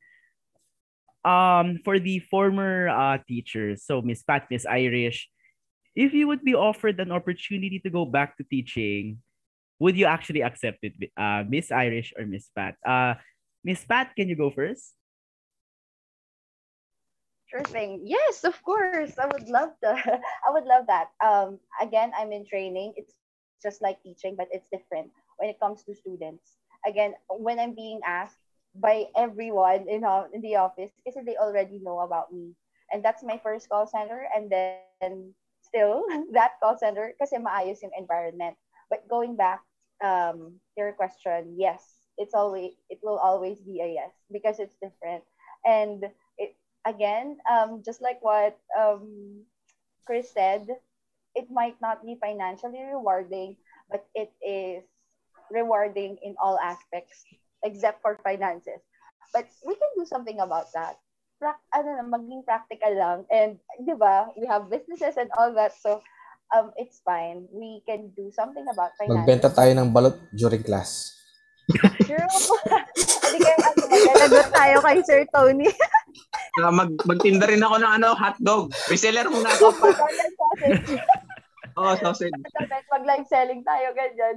Hindi kasi maraming pagkukuhanan ng pera, ng income. Pero yung pagkukuhanan mo ng inspiration and experiences, it will be different. Knowing people, understanding people, having patience with everything, not just the workload, but also um, your students. Iba siya. Iba yung feeling na I never expected na ganun bigat yung impact. So, it, it will always be a yes for me. Thank you so much, Miss Pat. So may chance pa bumalik uh, yung pero siguro wala na ata ako dito next year. At uh, di dati na lang ba ako di graduate? Just kidding. Siyempre, better each day. Magiging better. Miss Irish, what about you, Miss? Would you actually go back to teaching this? Ako, oo talaga, definitely. No, ako ang long-term goal ko kasi talaga is to go back to the academe. Although, I would like to pursue teaching in the tertiary level. That's why also I'm taking my master's degree. Kasi, when I set out there, no, nung, nung, nung gusto ko na magtrabaho talaga, I really don't like a job na nakaharap lang ako sa computer. Parang, sabi ko, it doesn't suit me. Gusto ko talaga yung job na meron akong interaction, na yung nasa paligid ako lagi ng mga tao. And I like the feeling of being excited to be inside a classroom and that equal excitement is being felt by your student. Pag nakita ka nila, andyan na si Miss kahit science yung ituturo mo, di ba parang ibang bata, science na naman, ganyan. Pero yung nag, ang sarap kasi sa pakiramdam kapag papasok ka sa klase, excited ka magturo, tapos yung mga bata, they would also be excited to learn from you. It's a different kind of fulfillment and satisfaction that you can get from a job. 'di ba? Parang kahit sabihin eh, some people would say na, naku, eme lang yan ng mga teacher, ganyan sabi lang nila yan kasi to inspire ganyan ganyan yung mga student, but it's really true. Promise, iba talaga yung pakiramdam. And it's a feeling that I want to get back to soon, no? Kaya lang sobrang hirap talaga ng process, sobrang tedious to get there. No, kailangan mo talaga ng proficiency and in extensive experience, no? But teaching is something that I would get back to because it's something that I really want to do and expect me to be there hopefully no in few years time and malay nyo di ba when you get to college malay nyo naman di ba someday hopefully in a good university we will see each other again ayun Thank you so much, Miss Irish. I think I just remembered something. I remember uh, Miss Irish telling, I think my section, I'm not sure with the other section, 10 a.m. one. So I'm 10 a.m. two. Miss I, I remember Miss Irish uh, Kaupo telling us that in the future, um, if as time goes on, you're going to start to realize money is like secondary. Then if you love what you do, no matter how much it is, that dyan ka you're going to stay there because you really love it. I remember something like that or somewhere uh, between those lines. May naiwan pala akong wisdom kay Johan. I'm very happy, no, that you remembered something that I said that I don't really recall na. But I mean, you see, that's the power of teaching, no? You get to influence one another na you don't even know and then naiiwan sa kanila and natatanim. And then, di ba, mag-grow yun. Ayun. Thank you, Johan. Thank you, Miss. Ahmed, may pamangkin. Take it away. Thank you, Tito. Um, and again, going back to dun muna sa sinabi ni Miss Irish and ni Miss Pat, uh, tama, ibang-iba talaga ang online from face-to-face. Not only in teaching, but also in um, students din. It's very hard and um, ibang-iba feeling na papasok ka, lalakad ka sa, dyan sa countryside, kung ano pang amoy mong basura dyan kasi kung ano nangyayari doon, ko-commute ka, iba talaga, iba talaga ang feeling, no? Um, and next question I would like to ask is for the current LFs naman po. Um, Sir Tim, I would like to ask you first. What makes you stay in teaching po? Uh, made me stay. Um, I guess, ano, the, the learnings, like what I mentioned a while ago in terms of understanding and nga, trying to broaden it or uh, there's there's value in um yun nga, what made me stay is the value that I, that I saw in this profession. Even though at times uh there yung yung motivation ko nagdudwindle siya or for for other reasons or for some reasons I still have my MTs behind me to motivate me to, to get back to that optimal level pa rin. And I thank them for that. Um, yun nga, for me, it's all about understanding, uh, hearing stories, um, learning from my students. What what is, what is your stories or what is like that? Yeah. Um, yeah, that's it for me. Thank you po, Sir Tim. Um, and next po, Sir Chris. Yeah. Um, on my end naman, like, ako, uh, I, it's just that I don't want na maging mas, I would take in, uh, this would take in bad against me na naman, no?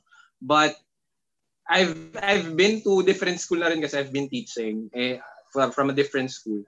Siguro kaya ako rin nasasabi that uh, hindi ko kaya ipagpalit yung experiences, yung mga ganito, yung natututo kayo, everything from the amount of money. It's because siguro I was also, I am also blessed to be in a working environment.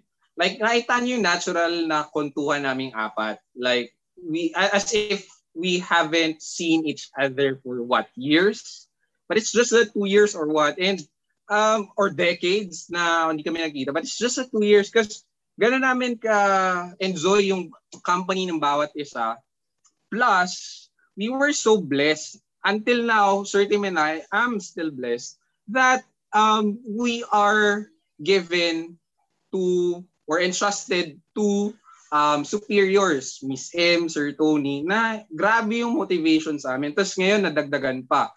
I forgot to mention, Sir Kenchi, how can I forget?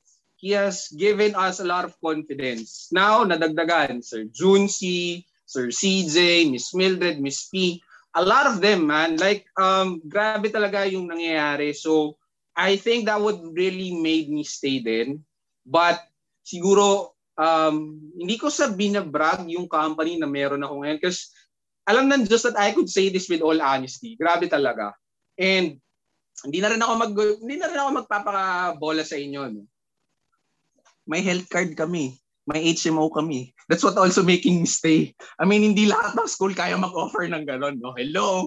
But you know what? Yeah. Um, siguro ano na rin, iba rin talaga yung um, leadership of the Ayalas. Sobrang hands down na uh, like how they're helping the country with the vaccination programs of different LGUs. Siguro nag-aano talaga yun. Eh. Yun yung ripple effect ng influence nila na ultimo umaabot kila Sir Tony, Miss M, Sir Junsi, Sir Kenchi, the, diff, um, the MPs, hanggang sa amin. That's why we were able to pass it on to you as well. That's it. That's what making me stay. Thank you, Sir Chris. No, so it's not only the student to teacher connections, it's also the um, colleagues, no, yung mga MTs nyo, yung mga mentors, your bosses. It's it's um it's all mixed, parang nagko-combine na lahat nun into one good experience and it's um what makes you stay. Um, thank you po. And um, next, um, I think this is the last one, uh, Tito, and I would like to ask is um, for all of you po, um, can you give all of us students a short but meaningful advice po. Um, not only to students but also to teachers, a short but meaningful advice po. I would like to start off with Miss Pat po. Okay. um, it's okay not to be serious at all times when it comes to your grades, but always be responsible. Kasi it depends on you. Uh, for this is for students. Um, don't forget to enjoy. Don't forget to laugh at times your mental health is very much important. Um, not just don't be, I'm not saying don't be great conscious ha. It's fine. That's great. That's good actually. Bakit? Mas maganda yun, right? Because that's your record. But um, I I would like you guys to always make sure that you are enjoying. Kasi life will give you a lot of issues, problems, and all that but um, don't take them so seriously. Um, don't forget to if if ever sobrang bigat na, always seek help. If it's not if it's not from your teachers, it's not from your friends or family, um, look for somebody to talk to. Kasi kailangan niya ilabas yan. Um, kasi th- during these trying times, yun yung na-realize ko. And of course, everything is online everyone is just a chat chat away, right? So go ahead, seek help. It's fine. Or just talk to somebody. That's fine. Um, and for teachers, ang galing niyo, saludo ako sa inyo. Ay, alam niyo yun, um, again, hindi siya financially rewarding kahit sinong tanongin mo, pero ang sarap niya sa feeling. And just continue, just be passionate with what you're doing. And again, enjoy. It's not bad to enjoy things and you deserve it. Everybody deserves it. So that's it. Cheers. Thank you, Miss Pat. So um we should all enjoy our lives, no? Whatever the trials may be, let's use it as opportunities to improve further and just um always find the good in something and again, just enjoy. Um next, Miss Irish po. Siguro this goes both for students and teachers, no? Um, siguro one great advice that I could give, which also I learned from my past experiences, is that don't be afraid to take on opportunities. Kahit hindi mo kaya. Diba? Even when you think about it, kaya ko ba tong work na to? Ayoko na lang kunin kasi baka hindi ko kaya. Or itong scholarship na to, baka hindi ko ma-maintain. Kaya ko ba talaga to? Don't be afraid or don't think of that thoughts. It's okay na, okay, sige matakot ka. But don't be afraid to grab it. Kasi it's only by doing so that you would know kung kaya mo ba, kung kaya mong i-improve. And doon mo lang malalaman na, ah, kaya ko pala. Kaya ko naman kasing i-develop. What if yung chance na hindi mo tinake, maging what if na lang siya habang buhay. Okay? It's harder to think of the what ifs kesa i-try mo siya or to know. No, it's better to know than have those thoughts na what if lang. Okay? Kapag merong bagong job opportunity na palagay mo hindi enough yung skills mo, eh na-offer yan sa iyo eh. Ibig sabihin they saw something in you. Yung scholarship na to, no? Um, even if palagay mo, paano kung nagka-line of, uh, paano pag di ko na-maintain yung um, grade requirement na kailangan? No, you wouldn't know unless you try. And yung mga opportunities na ganito, minsan lang yan kakatok sa iyo eh. So, kailangan kahit takot ka, susubukan mo. Okay? So, don't let the opportunities pass lang sa iyo. Okay? Huwag ka matakot porket hindi mo kaya. Kasi di mo alam na kaya mo pala pag di mo naman sinubukan. ayun siguro, don't be afraid of taking risks. Big risks are bigger rewards din naman kasi. Ayun siguro. Thank you, Miss Irish. Um, so don't pass up opportunities, always try new things. And um, again, parang bottom line is, is enjoy, enjoy these new things that you're trying po. And before um, I give it up to Tito, I would like to shout out Miss Mary Ann Capistrano. Shout out po. Thank you po. And um, Tito. All right. Thank you, my nephew. So, yun nga rin. Um, enjoy, do what you love, and take risks. Uh, let's move on. Sir Chris, what is your short advice to us students and to your fellow teachers? Uh, I'm gonna start with my fellow teachers and um, unahan mo ako, Ahmed, pero pinangako ko pa man din sa kanya. Miss Mayan, miss ka na namin. Shout out Zan. Bicol. Ano ba meron sa Bicol? Basta, sorry, nakalimutan ko na delicacy nyo. But yeah, going back, um, to the te- my fellow teachers, you know what, I would be humble. Siguro first time tong maririnig ni Pat sa akin that I would be humble. um, guys, you know what, I don't think I'm in the position to give you advice because in terms of experience, hindi pa ako ganun ka-experienceado. Plus, may kanya-kanya tayong diskarte. I mean, one way or another, um, we when we would talk to each other, baka mas matuto pa ako sa'yo kaysa ikaw sa akin. So, I wouldn't dare go into that position. Siguro sa students, um, simple lang. Um, we're all sinful. We're living in a sinful world. But um, God has given His Son, Jesus Christ, to die for our sins, paid the penalty of all of them. Accept Him as your Lord and Savior. And um, I mean, without Him, we're all ter- eternally lost. Eh. I mean, without Him, we don't know the sense of purpose. We would know if this is an opportunity or ano ba, um, lies of the devil. Ganun yan eh. So, um, siguro ano, um, just be humble na lang din and um, walang masama, dream big in such a way that um, your dream would scare you. Because if your dream doesn't scare you, you're not dreaming big enough. Dreaming big is one of the MCH here in Apex. Dream big, dream big. Don't limit yourself. I mean, you got a lot of potential ahead of you. And um, to all the students out there, I do understand what you're going through. Um, my night time is also a student. I, because I, I am a student at night, teacher by day. So I understand what you're going through.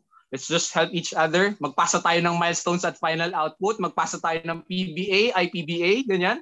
Lahat ng mga SA, sagutan natin, ganyan. And uh, just, you know, do what our part. Do our part. Alright? Sabi ko nga lagi sa mga synchronous session ko, Ahmed, ah, Johan, sana natatandaan mo pa to do your best. Let God handle the rest.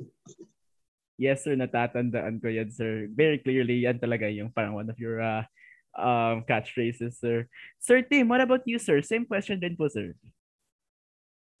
Siguro for me, let me just drive this point with a story. Um, I saw this part or part of a book ni James Patterson. Uh, Suzanne's letter to something or someone.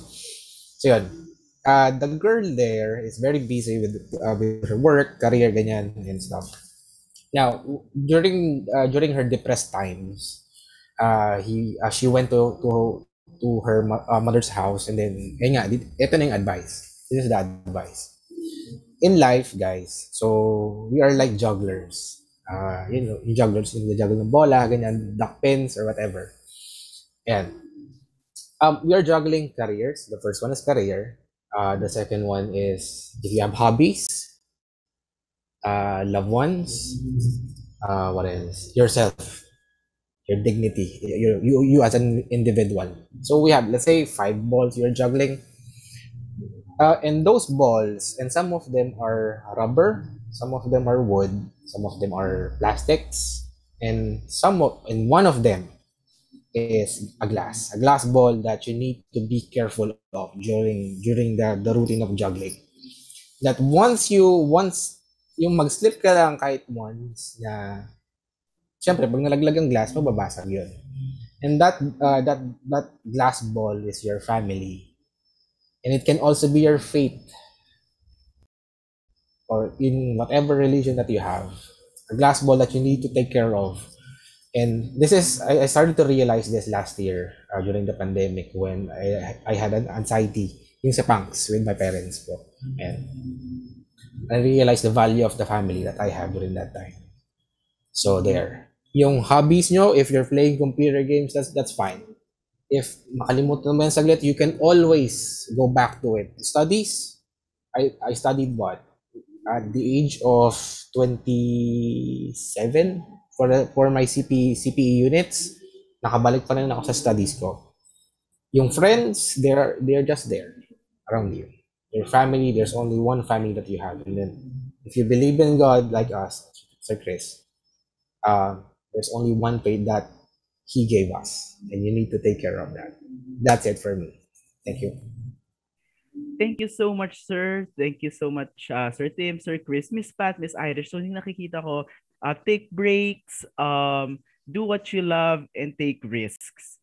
And if ever you're being burned out, take a break nga, yung kagaya ng sinabi ko kanina. So, let's move on. And since we have uh, seven minutes, patay ata tayo dalawa, Ahmed. Um, is there anyone you guys would like to thank, um, even your business or anyone special? Um, Miss Irish. First of all, no, I would like to thank Sir Chris and Sir Tim for for giving us the opportunity to to have this time with you, to be invited in this um, special podcast of Amplify. It's really great to be back and uh, sobrang na-miss ko yung APEC environment, no? I would also like to thank especially Sir Tony, Miss M, no, and Miss J sa past trainings, no? Kasi it really helped me a lot in my current work no? At saka whenever I would do my um my reporting sa, sa class. So super laking bagay niyan sa akin. Uh, shout out, special shout out to dyan sa jowa ko, nagpapa-shout out. Ayan, hi Ken, shout out sa'yo. Tsaka sa students ko, grade 9, 10, no, ng, uh, sa Apex Schools. No, hello, miss ko na kayo guys. Sana pagbutihin niyo pa rin yung pag-aaral niyo. I don't have any business to promote, but please do support Miss Pat in her businesses. Magaganda yung ang tinda nila. Lalo na yung sausage niya. Ayun. Hotdog talaga yan. Thank you. Yun, okay na. Bestseller yun, guys. Bestseller yun. Thank you so much, Miss Irish. Miss Pat, what about you, Miss? Thank you, ha. Thank you, Irish, ha. And Chris, actually. Okay, so, kung shout out lang din, kung kailangan niyo ng work referral, message lang ako, send your resume. Ako bahala sa inyo. Kasi ang dami ko ng students. Um, Oy, yung mga senior high school students na nanonood, no? alam niyo na sino yung gusto niyo dapat i-message. PM nyo kami, PPM namin kayo sa kanya. Guys, actually, I'm very proud. I'm very proud of my grade 12 students. Nandun na sila, working with me. Um, I'm... Can you give them a shout out? Yeah, um, Carmel, Tonel, um, Danina, Tiffy, Kyra, Joanna Rica Blanca. O ha? Ang dami na. Hindi ko na naaalala. Patawarin niyo ako, mga mahal ko. And Pero libre niyo na lang ako. Kumikita na kayo na mas malaki sa akin, Jesus. True. Ayun yung maganda, di ba? Um, mas malaki yung sahod ng mga estudyante namin kaysa sa amin. Ganun yung, ganun yung nangyayari. But that's um, very rewarding. Sobrang sarap. So, thank you so much, lalo na sa mentors namin. Hanggang ngayon, um, Miss J, Miss M, and Sir Tony, lahat ng learnings ko from APEC, all of the experiences, and also um, from my colleagues, andito pa rin sa akin. And I really value them a lot. So, I'm really grateful. And to all the teachers out there, kapit lang kaya natin to, online man or face-to-face, I know that you can do this. You got this. You got this, guys. And to our students, ayun, kayang-kaya nyo rin to. Just, just, just be responsible and take a break. That's it. Um, pa-plug ko na, Unique. Follow Unique ko, H-U-E-N-I-Q-U-E space C-O. Um, nag-live selling yung kapatid ko. Um, those are from our suppliers. Nandiyan ka ba? Hi! so, Hi! Hi, Ate Pam! yeah, she's Pam. Um, ayun, nag-live selling kami ng clothes, dresses, and also friends.ph. That's for my cousin's live selling account in here in Facebook. Like and follow. Um, mag-anniversary na rin yun, so may free mind doon, voucher. Wow, congrats! So, oh, diba? Tsaka lastly, yung ano, frozen products. Um, because I Yun really did, Sausage. Yeah, I really, I'm really busy. Si Pam din yung pinag-manage ko muna ng sausages. So that's the reason why I do TikToks before because of that sausages. Pero ayun, nag-gain naman siya ng maraming buyer. So ayun. Kaya guys, there's always a way for you to um, earn. But when it comes to your um, mental health, emotional, and all that, ayun, teaching yung nagbigay sa akin. And for you guys, if it's learning, then go ahead. Learn from everything, every aspect. So that's it. Thank you guys for this opportunity.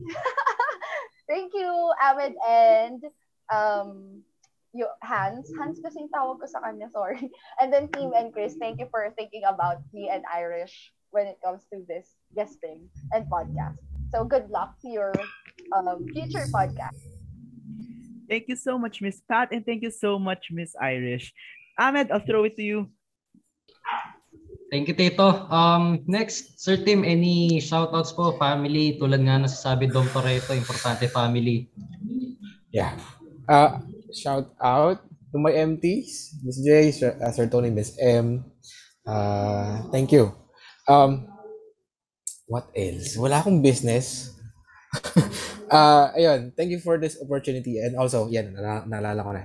Miss M for the support for this podcast since the when since we pitched this to you. And then to Sir Benji, uh, if you will be watching this, thank you sir for the opportunity again and for your approval. I'm hoping that yung mga yung mga future uh, team namin for the podcast will be approved. So there, thank you so much. Yun. Thank you po. Thank you, Sir Tim. Um, next po, Sir Chris. Any Um, shoutouts? bago ko mag-thank you sa mga nilista ko dito muna sa live chat natin, sa mga gumising ng maaga, sa mga former students namin, um, Poch, Wiley, congratulations on your college life right now.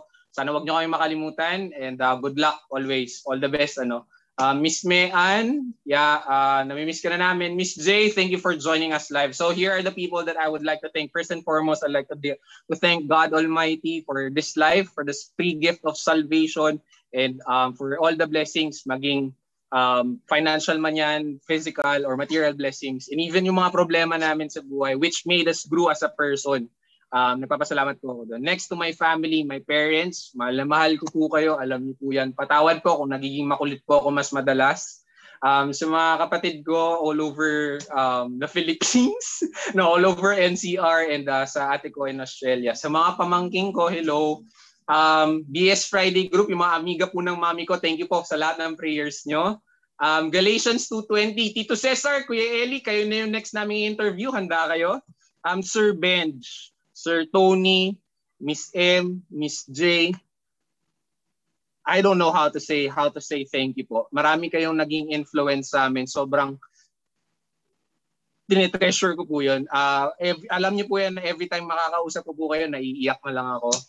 To my BO9 family, um, lahat, former LFs, ang dami nyo, hindi ko kayo mabanggit lahat. Kahit yung mga dati ko na rin nakasama, alam mo ibig ko sabihin, Pat, when, when I'm saying this, um, shout out sa inyo, sana masaya kayo, and salamat sa suporta ng mga nakasama pa namin ngayon. JP, hope the best for you and also with Elaine. Um, congratulations kay Janine. Sir Ayan, hello po. Um, and then next is sa mga guests namin today.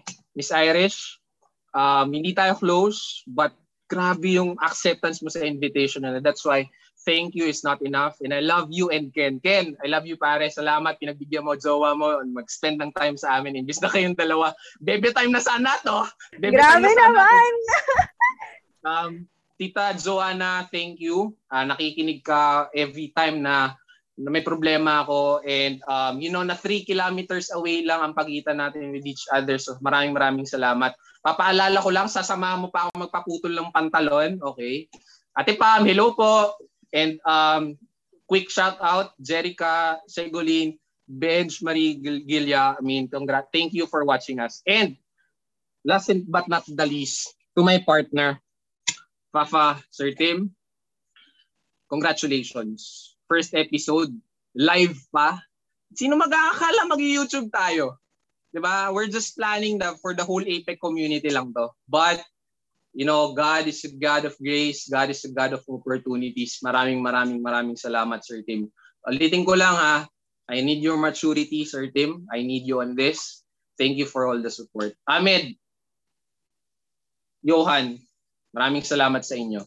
Um, shout out ko na rin, Joel, na ngayon, hindi mo ko naririnig, but thank you. Um, Mindy, Carlos, Luigi, Amiel, Joe, Juwon, maraming maraming salamat.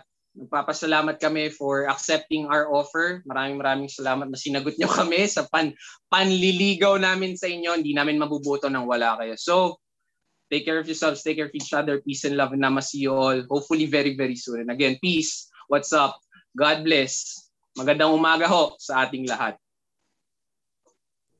Thank you po, Sir Chris. Again, um, to wrap this up po, thank you po to everyone. Thank you to the tech team. Thank you to the newsletter team. Thank you to Tito, thank you to Miss Irish, thank you to Miss Pat, Sir Chris, Sir Team, lahat po. Thank you po sa inyo lahat. And of course, syempre po sa mga nanood, sa mga nag-sumusuporta po, sa mga nag-stay tuned po sa live, maraming salamat po. And um, I guess my main uh, takeaway from this um, whole podcast is that um, a teacher will always be a teacher even if you are not um, teaching right now. Or I guess in this case, an LF will always be an LF. What about you, Tito?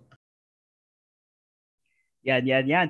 Thank you. I would also like to thank uh, Miss Irish, Miss Pat, Sir Tim, Sir Chris, um, the tech team, even the newsletter team, the whole of Amplify, um, everyone who made this possible. I'd also like to thank um, also the viewers and everyone who, who is supporting this um, Amplify. And I my key takeaway is yun nga, sabi ni Ahmed, um, everyone is actually a teacher. And then always take risks, do what you love, care for others, be mindful of yourselves And then, of course, keep learning. Yan yon. Even though you're a teacher. So, Ahmed, is this time is this time for us to uh, say goodbye? Yes, but for now only. Um, so with that said, this was such an amazing experience, everyone. But again, it's time for us to say goodbye just for now. I'm Ahmed Salamilescas, your pretty boy host, and goodbye. And I'm your friendly neighborhood caster, Johan Tito Hansoven. And this is Amplify, the podcast more inspirational content coming your way. Goodbye, guys. Thank you all so much.